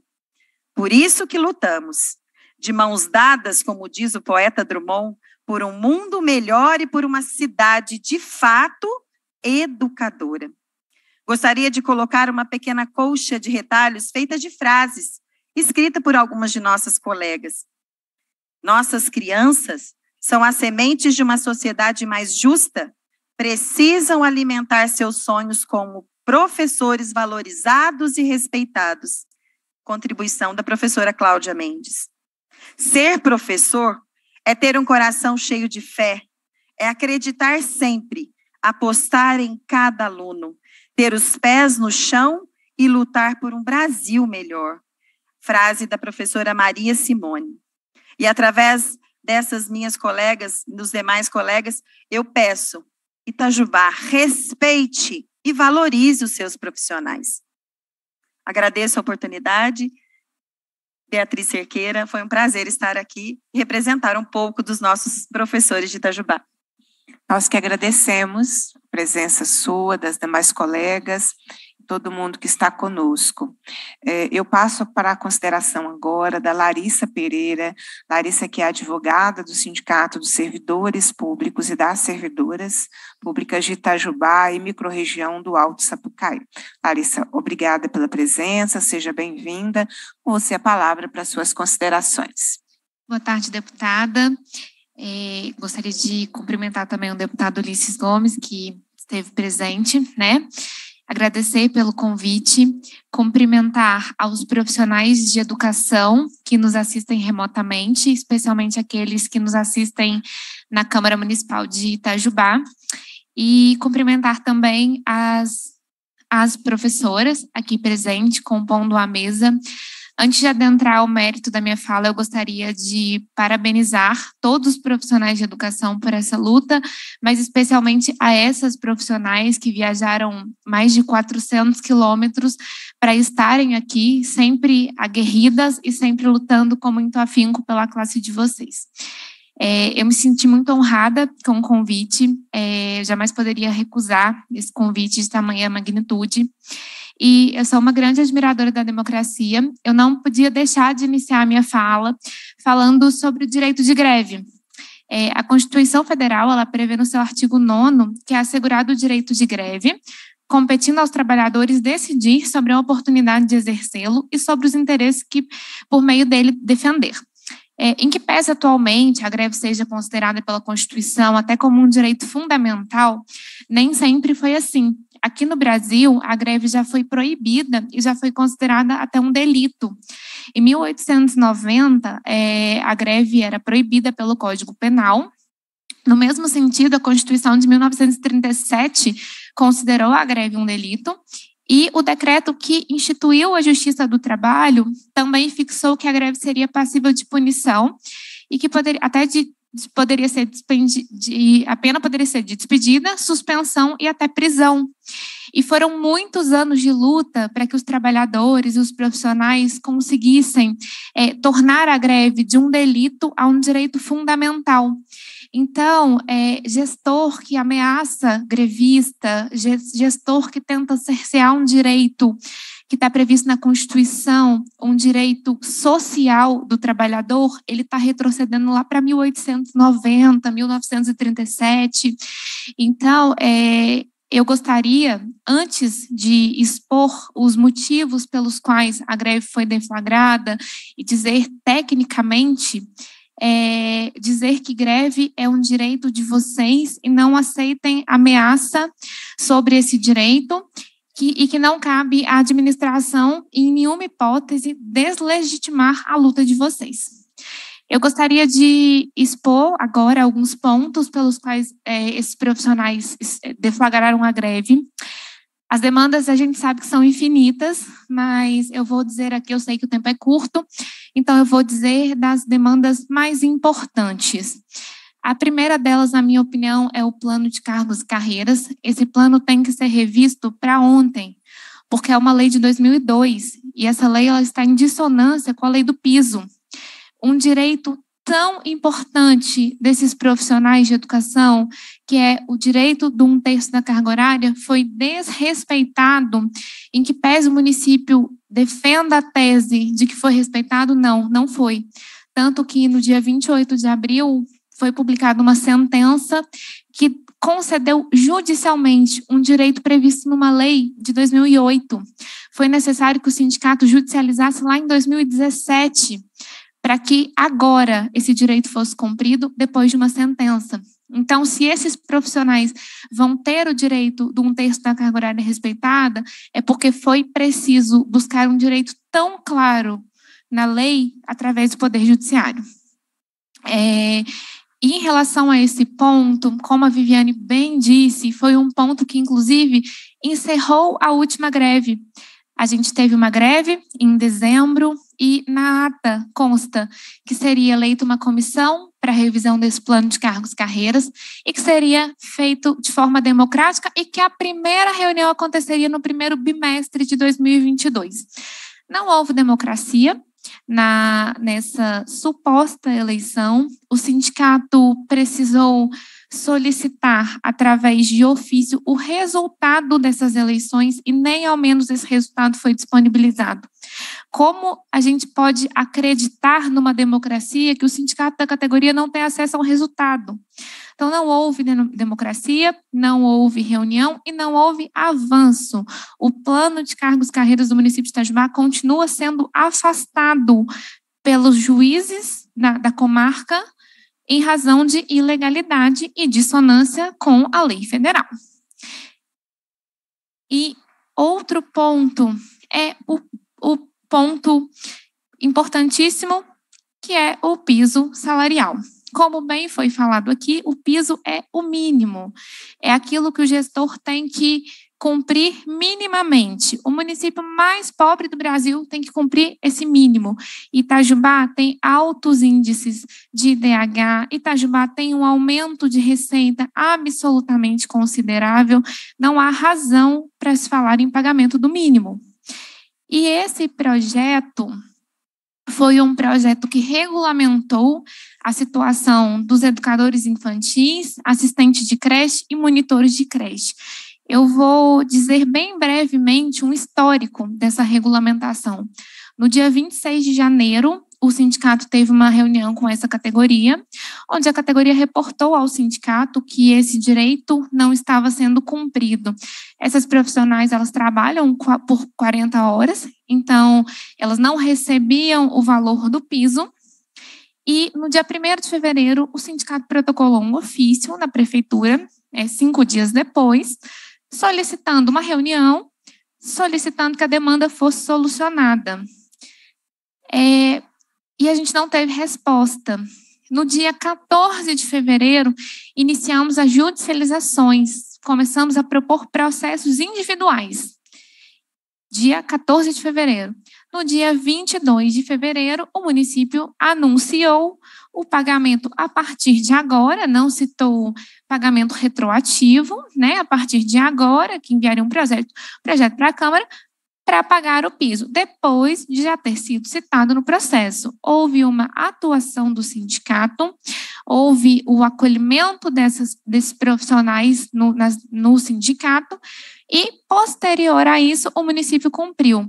Mas eu, com certeza, comemorei, mas com a certeza de que é o mínimo. É, mais uma vez, a gente não tem que comemorar o mínimo.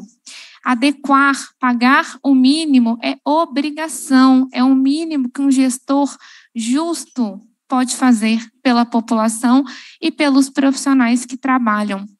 E muito nos entristeceu o fato de que foi feito, foi realizada uma reunião com essa categoria para dar uma notícia boa, mas e as demais categorias? E o professor regente, e o professor de educação física, e o especialista em educação?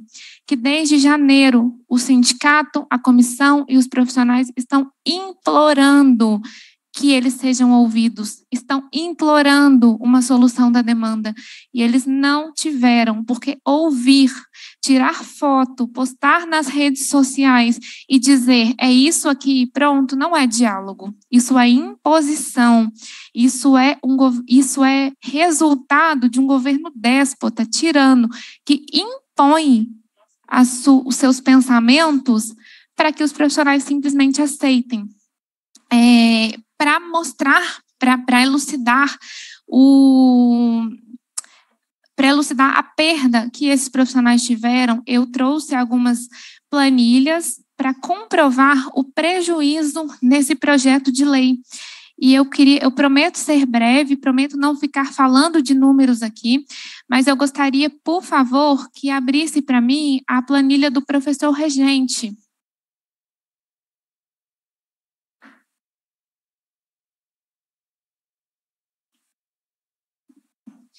eu vou exemplificar com o professor regente da letra A, que é aquele que está ingressando na carreira. À medida que ele tem mais tempo de carreira, ele vai subindo de letra. Esse profissional, ele entra no município com o vencimento de R$ 2.095,97.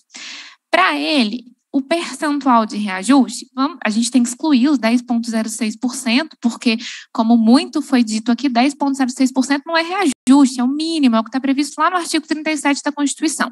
É recomposição salarial, uma revisão. Então, ele teve 4,78% de reajuste, mas por que, que ele teve esses 4,78? Para chegar no mínimo do piso. Então, em 2021, ele ganhava é, o valor da hora piso era R$ 16,03.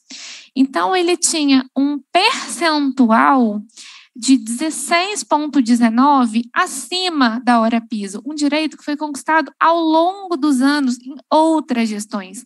E essa valorização, que, que é, ainda é pouco, que um momento ele teve, ele perdeu porque esse projeto somente concedeu os 4,72 para que ele pudesse chegar no mínimo então, ele ganhava mais, hoje ele ganha menos em relação ao piso, que é o que tem que ser considerado. Então, naquele gráfico embaixo, ele teve uma desvalorização no salário de 16,19%. E vocês podem observar que quanto mais tempo de carreira, mais o salário desvalorizou.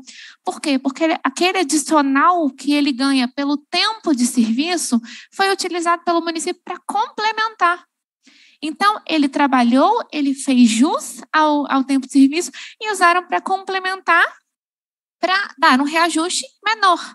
E esse reajuste também, no nosso entendimento, ele é ilegal, porque o próprio plano de cargos e carreiras do município dispõe que não pode se pagar reajuste diferenciado à categoria, o que é diferente dos profissionais do CEMEIS, porque no caso deles não foi reajuste, foi adequação. O município não cumpria com o mínimo da lei, que é pagar o piso. E aqui não, cada, cada letra teve um percentual de reajuste, o que é, com certeza não está, não coaduna com a Constituição e também com o plano de cargos e carreiras. E esse é o professor regente. Eu gostaria agora que abrisse, por favor, no professor de educação física.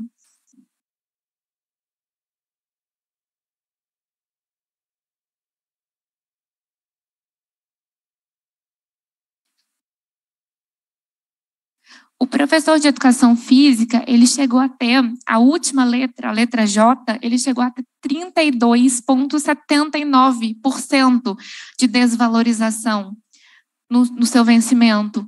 Isso é um terço do salário dele. Um terço do salário dele foi desvalorizado. Isso foi uma perda.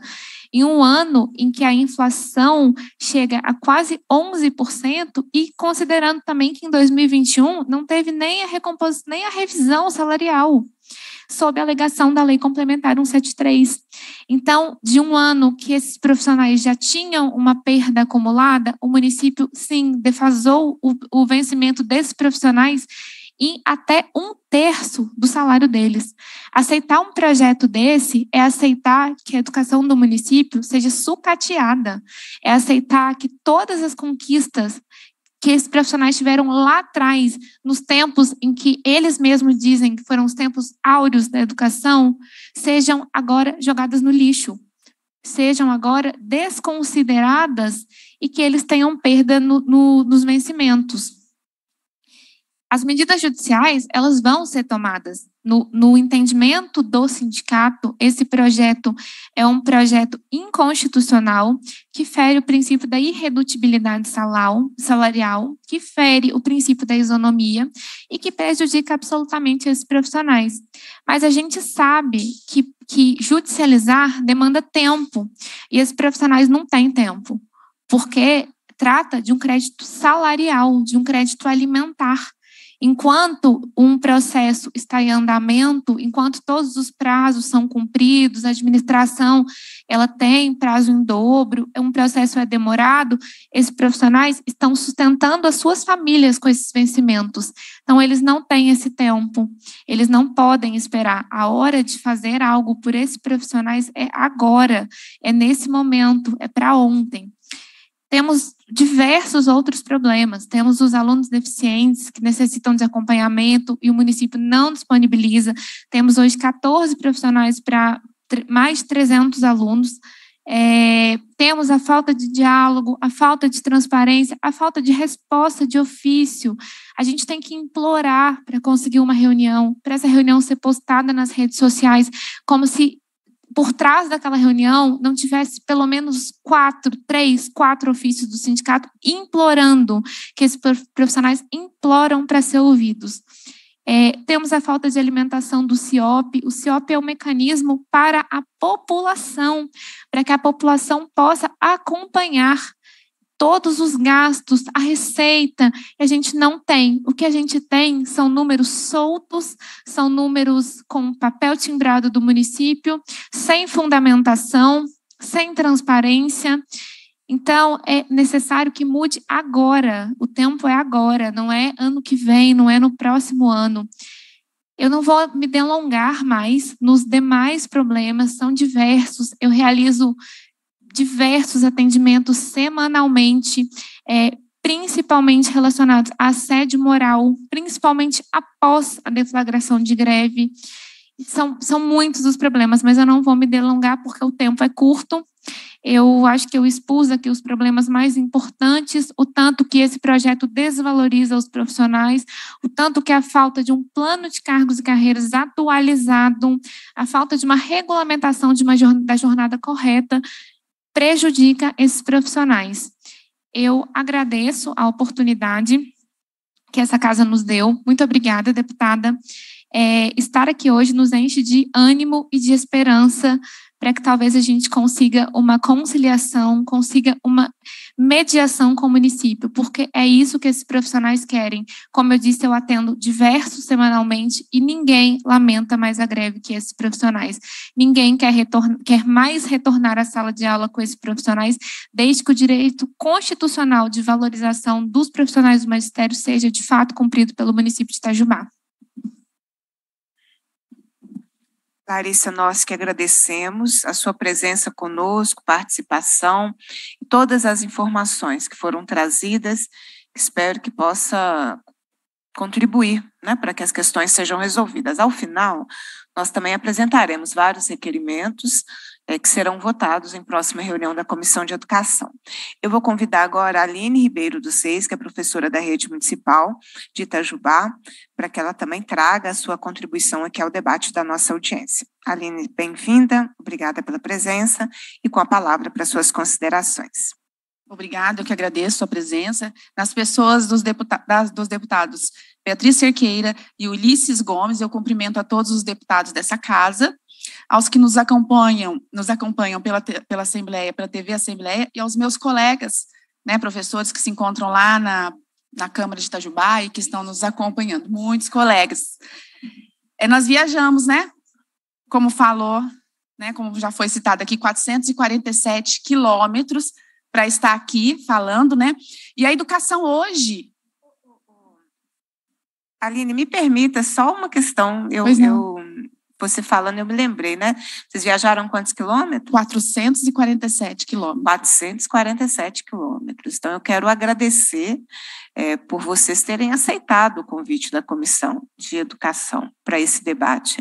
Eu quero lamentar de novo, né, o prefeito e o secretário, é, que não só não viajaram, né, não tiveram essa disposição de visitar aqui o Poder Legislativo Estadual, mas também é, não puderam acessar um link, como outros colegas que estão aqui conosco, que não estão presencialmente, mas puderam participar virtualmente, porque esse, esse modelo híbrido possibilita exatamente isso isso, você participa nas condições que você puder. Então, mais uma vez, eu quero muito agradecer a toda a equipe, convidadas, né, que estão conosco presencialmente. Sei que vocês pegaram estrada cedo e vocês retornarão ainda hoje. Sim. Vai lamentar a ausência do prefeito e do secretário, que na impossibilidade de ter a mesma disponibilidade e né, disponibilidade é, de vocês de estarem aqui, poderia ter acessado um link que está conosco virtualmente. Então, eu, eu fiquei, comparei né, as ausências com as presenças, então importante. quero mais uma vez agradecer a presença é importante de vocês aqui. pontuar isso, sim, e a gente que agradece ah, não, imagina. Eu, nós que agradecemos porque hoje a educação em Itajubá, ela grita. Né? Ela grita, nós, e o grito, se você for pensar, ele é o fruto da indiferença. Ele vem quando você fala, você fala, você fala muito e você não é ouvido. E aí você começa a gritar. E nós gritamos. Nós gritamos lá na porta da prefeitura, nós gritamos lá na porta da Câmara, nós gritamos nas ruas, nas praças e nós gritamos até nas feiras. Até na feira a gente foi gritar. E, e o nosso grito, a gente, a gente tem a satisfação de ver que o nosso grito ele ecoou. Ele ecoou e ele chegou aqui em Belo Horizonte e chegou aos ouvidos do deputado Ulisses Gomes e da deputada Beatriz Cerqueira, que nos convidaram para estar aqui. Então, para nós, é uma oportunidade muito grande de falar, porque nós temos só tido a oportunidade de gritar. Nós temos gritado, mas eu não gritei sozinha, não. Eu gritei com mais 260 profissionais da educação lá de Itajubá, professores regentes, professores de educação física e especialistas. E, e, hoje, né, senhoras e senhores deputados, nós não dispomos, nós estamos aqui, nós ficamos felizes, porque, ao contrário do, do nosso prefeito, nós não dispomos dos meios, né, da, dos meios oficiais da prefeitura municipal, municipal para nos manifestarmos.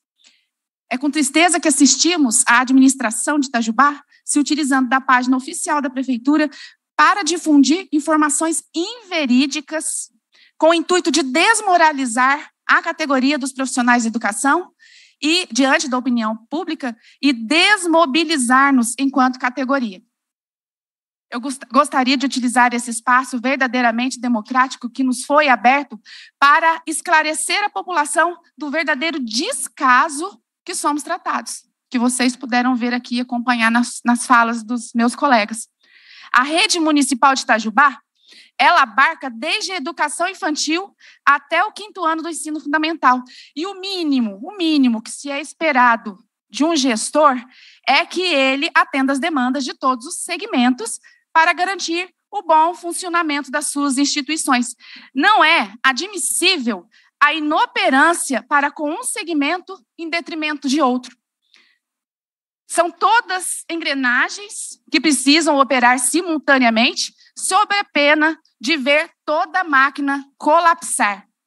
Os professores e especialistas são os que têm mantido todo o aparato necessário, compensando a falha do executivo. Entretanto, nós cansamos. A responsabilidade da educação não pode recair sobre nossos ombros. Nós carecemos que se lhes tirem o peso do mais absoluto descaso. Eu gostaria de, citar uma das reivindicações da greve anterior, que já foi até falada aqui, mas como uma vitória nossa, que foi uma das PLs que deu entrada no dia 2 de maio na Câmara dos Vereadores, com a regulamentação de um terço da carga horária para atividade extraclasse. Essa foi uma vitória nossa, profissionais da educação e do sindicato aqui representado pela doutora Larissa. Contudo, ainda não avançamos, como foi bem falado, é, com relação à revisão do nosso plano de cargos e carreiras. Né? Não vou me alongar, mas foi feito lá uma comissão de uma forma muito duvidosa, que se chama democrática, mas não foi. Muitos professores não tiveram conhecimento. E o sindicato já pediu o resultado, foi para o Google, Google Forms, e até hoje nós não tivemos acesso a, esse, a esses resultados. E mesmo essa comissão, formada de forma duvidosa, ela nunca foi chamada para iniciar os trabalhos. A justificativa, como de praxe, é que estão resolvendo primeiro as questões de carga horária, para depois, então, resolver as questões referentes ao plano de cargos e carreiras. Cansamos de ouvir esperem. Os meses voam sem vermos atendidas as nossas demandas mais urgentes. Outro ponto que gostaria de abordar, que também foi uma conquista nossa, e eu gosto de falar sobre as nossas conquistas, deputada Beatriz, porque muitas vezes a gente fica cabisbaixo achando que a gente só está acumulando derrota, mas não. Tem outra vitória nossa, que foi a PL, que entrou em tramitação também na mesma data, no dia 2 de maio, com a para a contratação dos professores para a parte diversificada do currículo do aluno e dos professores de apoio aos alunos com deficiência. Não sem tempo, para ser exata, 14 anos, e na eminência da, determina, da determinação judicial, que de fato veio no dia 28 de abril, a atual administração se colocou a par dos fatos, como afirmou publicamente em entrevista numa rádio local o senhor prefeito, e finalmente enviou o, o referido relatório, relatório não, projeto, para a Câmara Municipal. Como foi dito aqui, toda tentativa de diálogo, quase toda, foi feita por iniciativa do sindicato. Apenas duas. E todas as duas ocasiões em que nós fomos convidados a lá comparecer foram situações, né? Que só nos levaram para situações de desconforto ali, que não nos trouxeram nenhum benefício, nenhum, nenhuma, nenhum avanço nos nossos diálogos. A citada reunião né, que nós fizemos, a última, ele literalmente, o prefeito, ele tirou fotos, né, se eh, postou literalmente de prefeito conciliador em sua tentativa heróica de evitar a greve, mas não apresentou nenhuma proposta diferente da, da inicial. Greve essa que ele próprio causou pela sua franca recusa em negociar algo mais que os míseros 0 a 4,73% oferecidos. Dizer que não tem dados, dizer que não tem dinheiro, sem nos mostrar dados oficiais, como já foi falado aqui no CIOP, né, que é o sistema de informações sobre orçamentos públicos em educação, não nos demoverá do nosso propósito a falta de transparência dessa gestão, que gosta de fazer uso desse termo que definitivamente não lhe cabe, fica evidenciada por essa falta de alimentação desse sistema. Já quase encerrando esse verdadeiro desabafo que eu estou fazendo aqui para vocês, eu gostaria, primeiro, eu gostaria de prestar a minha reverência a todos os meus colegas grevistas que têm lutado junto comigo, não só por um reajuste digno, como nós gostamos de, de falar, mas também, como gostamos, né, mas também para que problemas antigos finalmente sejam encarados, conhecidos por toda a população e o mais importante, para que sejam resolvidos. Eu falo com esses meus colegas agora diretamente, Deixa eu olhar para a câmera. Não desistam. Não desistam, porque nós estamos atrás do que é justo, do que é legal e do que é correto. Nós, né, grevistas, quando entramos nessa greve, jamais imaginaríamos que ela ia se estender por tanto tempo, por causa da total falta de maleabilidade política do nosso gestor. E por isso hoje, né, nós estamos aqui pedindo aos representantes do povo que vocês, Beatriz Cerqueira, deputados, os senhores são nossos representantes, nos ajudem a voltar para o nosso lugar, nos ajudem a avançar nisso que a gente tem tentado fazer, né, transformar esse nosso monólogo em diálogo, para que nós possamos voltar para o nosso lugar de direito, que é a sala de aula. E caminhando por esses corredores, eu li uma eu li uma citação de Santo Agostinho que eu gostaria de fazer agora para encerrar a minha fala, que é assim: a esperança tem duas filhas lindas, a indignação e a coragem. A indignação nos ensina a não aceitar as coisas como estão e a coragem a mudá-las. Muito obrigada. Nós é que agradecemos pela sua presença, pelo debate e pela disposição de todas vocês e de dezenas né, de pessoas que estão acompanhando a nossa audiência lá na Câmara Municipal de Itajubá, por essa disposição de lutar por uma educação pública de qualidade. Tem como ter qualidades com profissionais desvalorizados, desrespeitados. Não tem como ter qualidade se você tem um gestor que tenta dizer à sociedade que a professora tem ótimas condições quando ela não tem. Porque no dia a dia, você incita a comunidade contra essa professora. Né? Então, a responsabilidade do gestor público é muito importante. Né? Eu me lembro quando o governador do estado, numa entrevista é, de rádio, ele disse que, questionado pelo repórter, ele disse: não, mas as professoras receberam uma ajuda, receberam, recebem na época, né? uma ajuda de custo para pagar o telefone. Olha só, o governador disse que o Estado é, remunerou as professoras pelo trabalho remoto de alguma forma, né, naquilo que elas estavam gastando né, no, na sua casa. Então, toda a comunidade, toda a sociedade que ouviu aquela entrevista teve uma informação de que a professora teve uma ajuda para pagar a conta de telefone. E não era verdade. A professora nunca recebeu. Tem professoras que são da rede estadual que estão aqui é, conosco. A professora nunca recebeu essa ajuda de custo. Então, é gravíssimo quando é o gestor público que vai à sociedade com informações que não correspondem à realidade, porque é, é, é uma grande irresponsabilidade esse comportamento, porque cria uma falsa ideia na sociedade sobre a condição do profissional.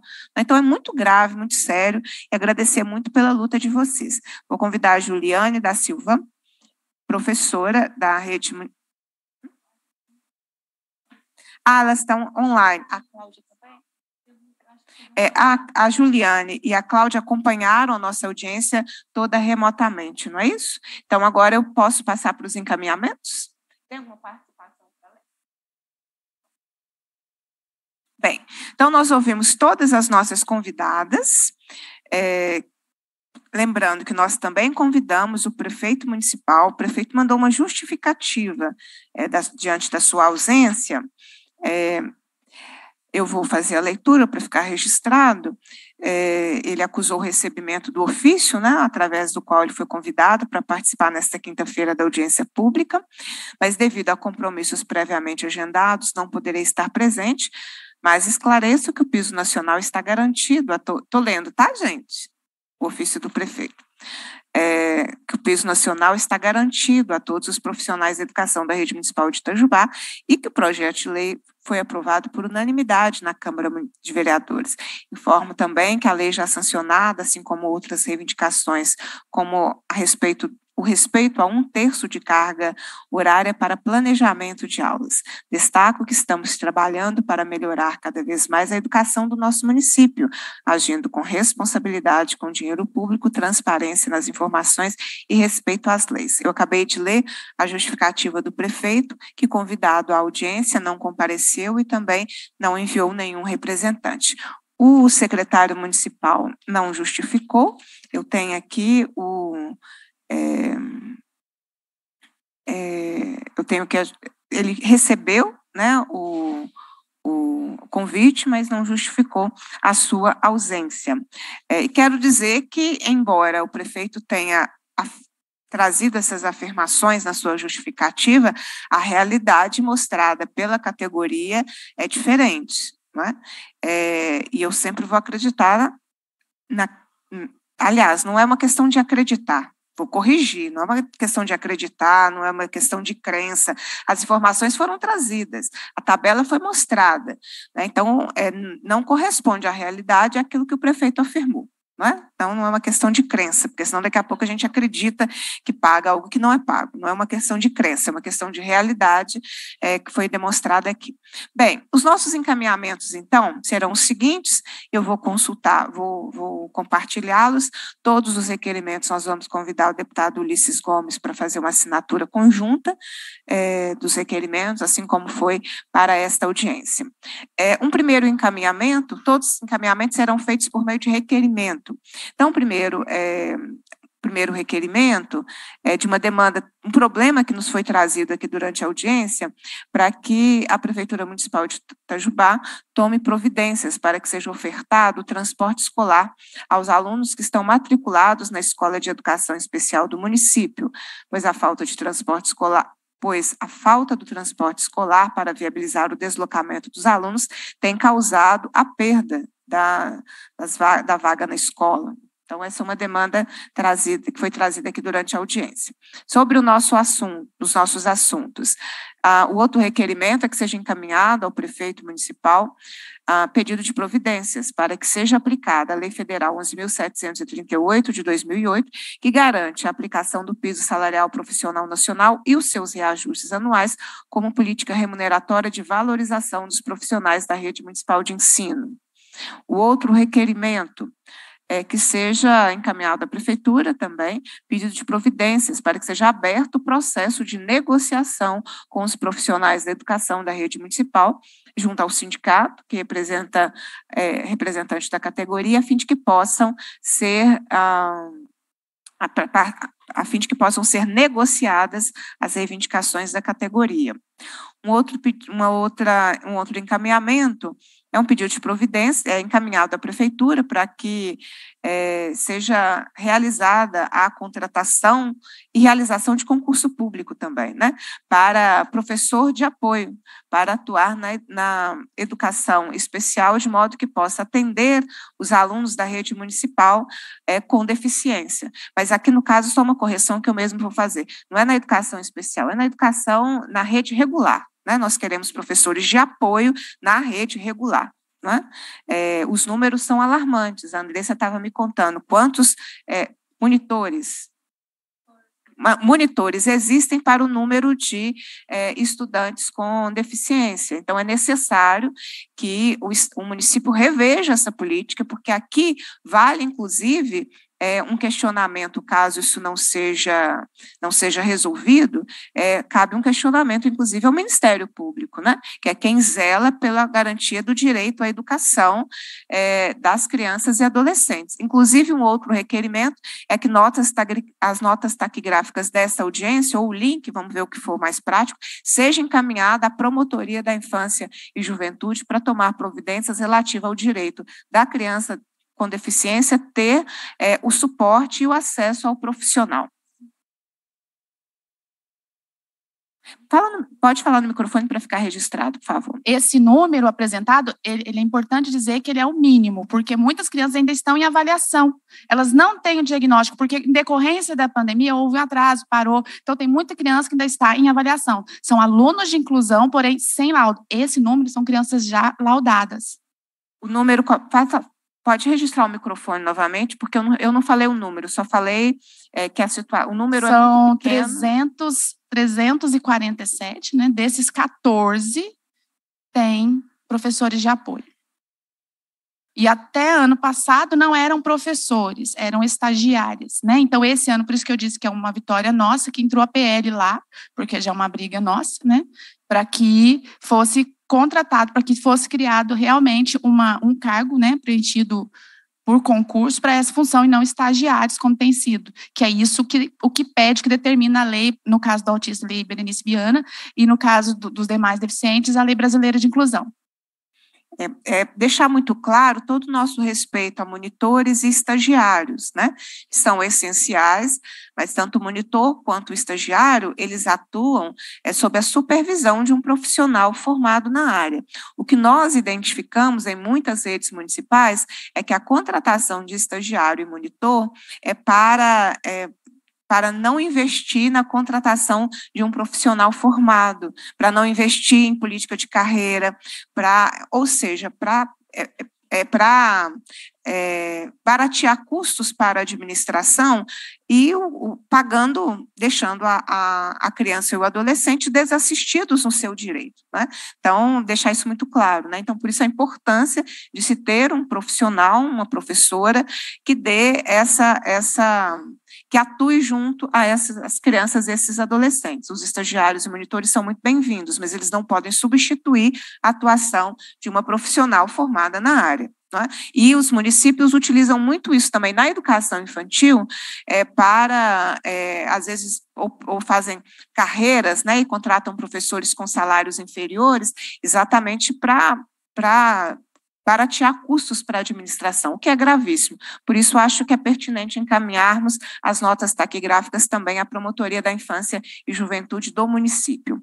Ah, são, esses, é, são esses as minhas, as nossas, é, os nossos encaminhamentos. A questão de um texto à atividade, a questão, ah, um outro encaminhamento também é solicitar informações detalhadas sobre o recebimento e a utilização dos recursos do Fundeb no município dos anos de 2021 e 2022 2022, de modo que nós tenhamos acesso público a essas informações. Eu consulto as nossas convidadas se esses requerimentos atendem é, às demandas, à realidade, e se com esses requerimentos nós conseguimos nos somar né, à luta por uma educação pública de qualidade no município. Então, por favor. É... Se tiver mais algum encaminhamento a ser sugerido. Então, um dos encaminhamentos que você colocou é o que a gente pede, transparência. É muito fácil falar, mas vamos provar. E cabe à prefeitura o ônus da prova, nesse caso. No caso, é uma outra demanda que nós, enquanto mandato, estamos aí buscando esclarecimento em relação à não atualização do CIOP. É, é, a gente averigou, né, e vários municípios vizinhos nossos estão ali, está tudo atualizado, está tudo certinho. Então, por mais que a prefeitura, o executivo municipal itajubense esteja alegando que é um problema no sistema, jogando a culpa no sistema federal, a gente já apurou que né, municípios ali próximos a nós tem mantido a regularidade na atualização do CIOP. Itajubá não faz isso desde novembro de 2021 e não fez isso também nesse, nesses primeiros meses de 2022. Então, nós levamos né, essa situação para o Ministério Público do município, protocolamos hoje também, aproveitando que nós estávamos passando por aqui, protocolamos junto ao Ministério Público do Estado, e isso também é, foi levado ao Tribunal de Contas. Bem, sim. É, são 347 crianças com deficiência, 14 é, professores que não são os professores de apoio, são professores regentes que aceitaram hora extra para acompanhar este aluno em sala de aula. Então, é por isso que nós reafirmamos, a situação não foi resolvida. Tem, é, esses são exatamente os números que vocês haviam compartilhado aqui com, comigo e a gravidade né, da, da situação. É, pergunto se alguma das convidadas quer fazer considerações finais antes de nós finalizarmos.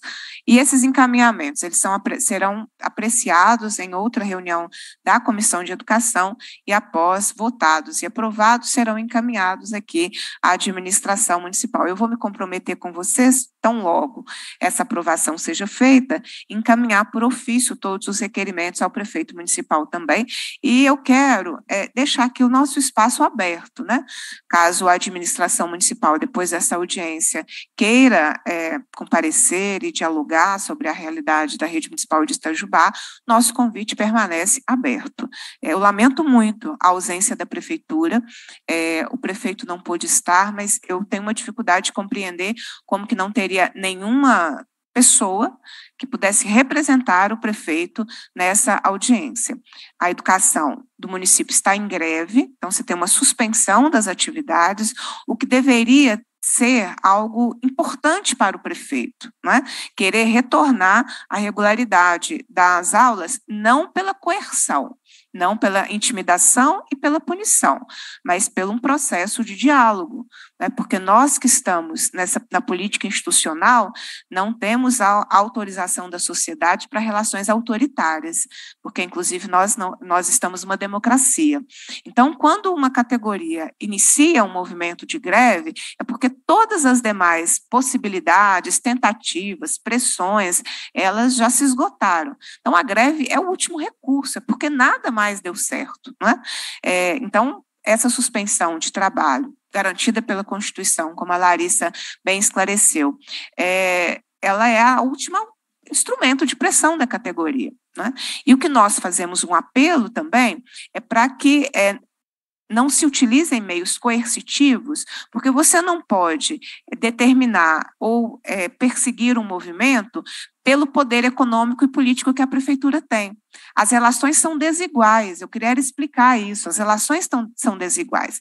A professora e, e, e a prefeitura não têm, não, tem, não tem uma equidade aí nessa relação. A relação é desigual, é extremamente desigual. Né? Foi nos dito aqui que a prefeitura utiliza as redes sociais para dar informações que a categoria não tem o mesmo espaço, né? então você tem aí um poder político é, da prefeitura é, combatendo, né, confrontando é, o movimento. Né? Então, é preciso que a gente tenha saídas que sejam pela mediação e pela negociação.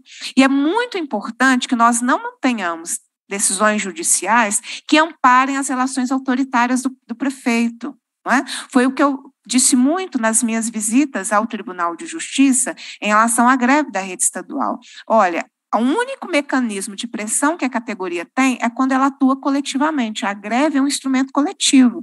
Agora, se quando a categoria começa a se organizar coletivamente para pressionar o gestor, o judiciário é, respalda a não negociação do gestor, não é? Então fica ainda mais desigual. As relações estão muito desiguais, gente. Essa, esse grito né, é, que a Aline trouxe aqui, ele é um grito real.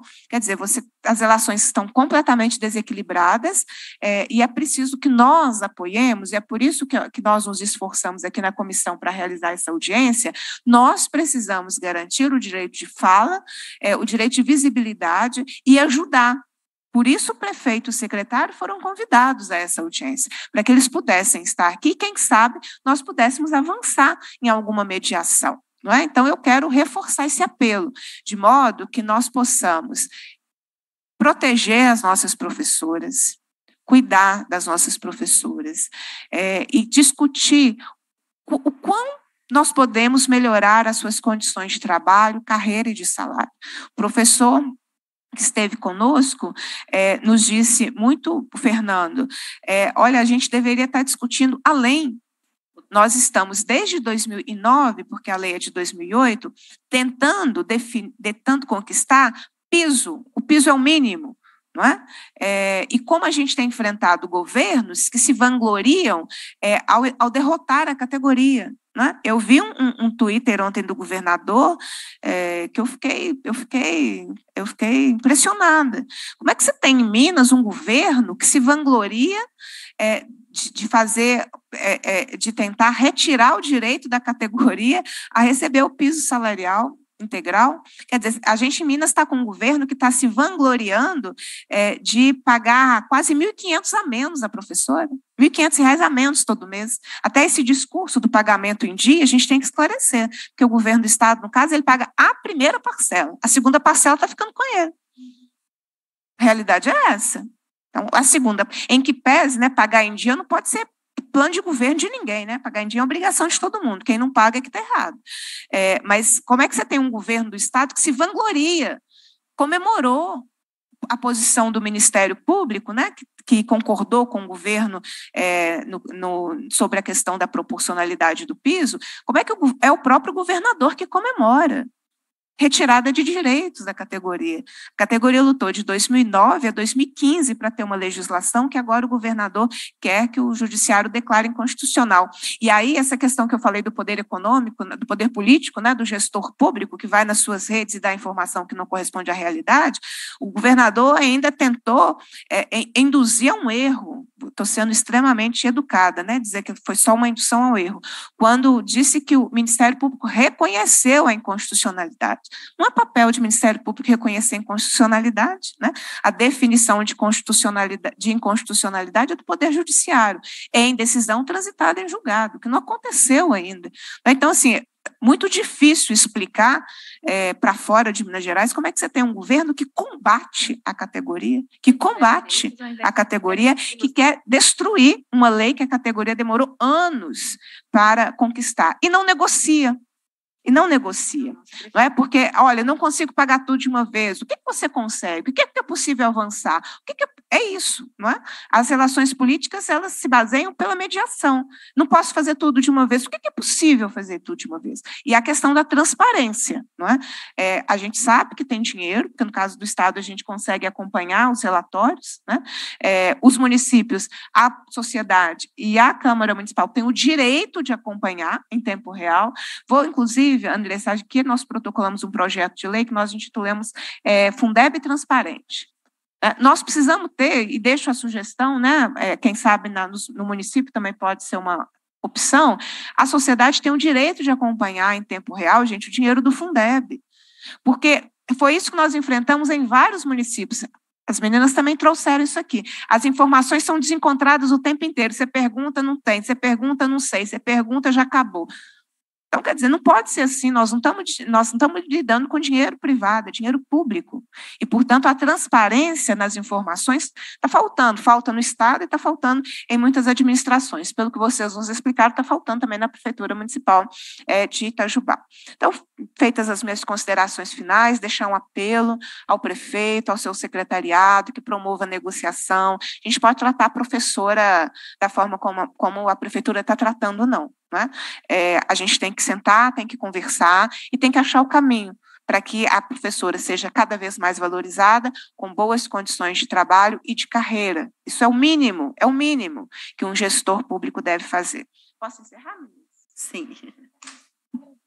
Sim. Andressa, por favor.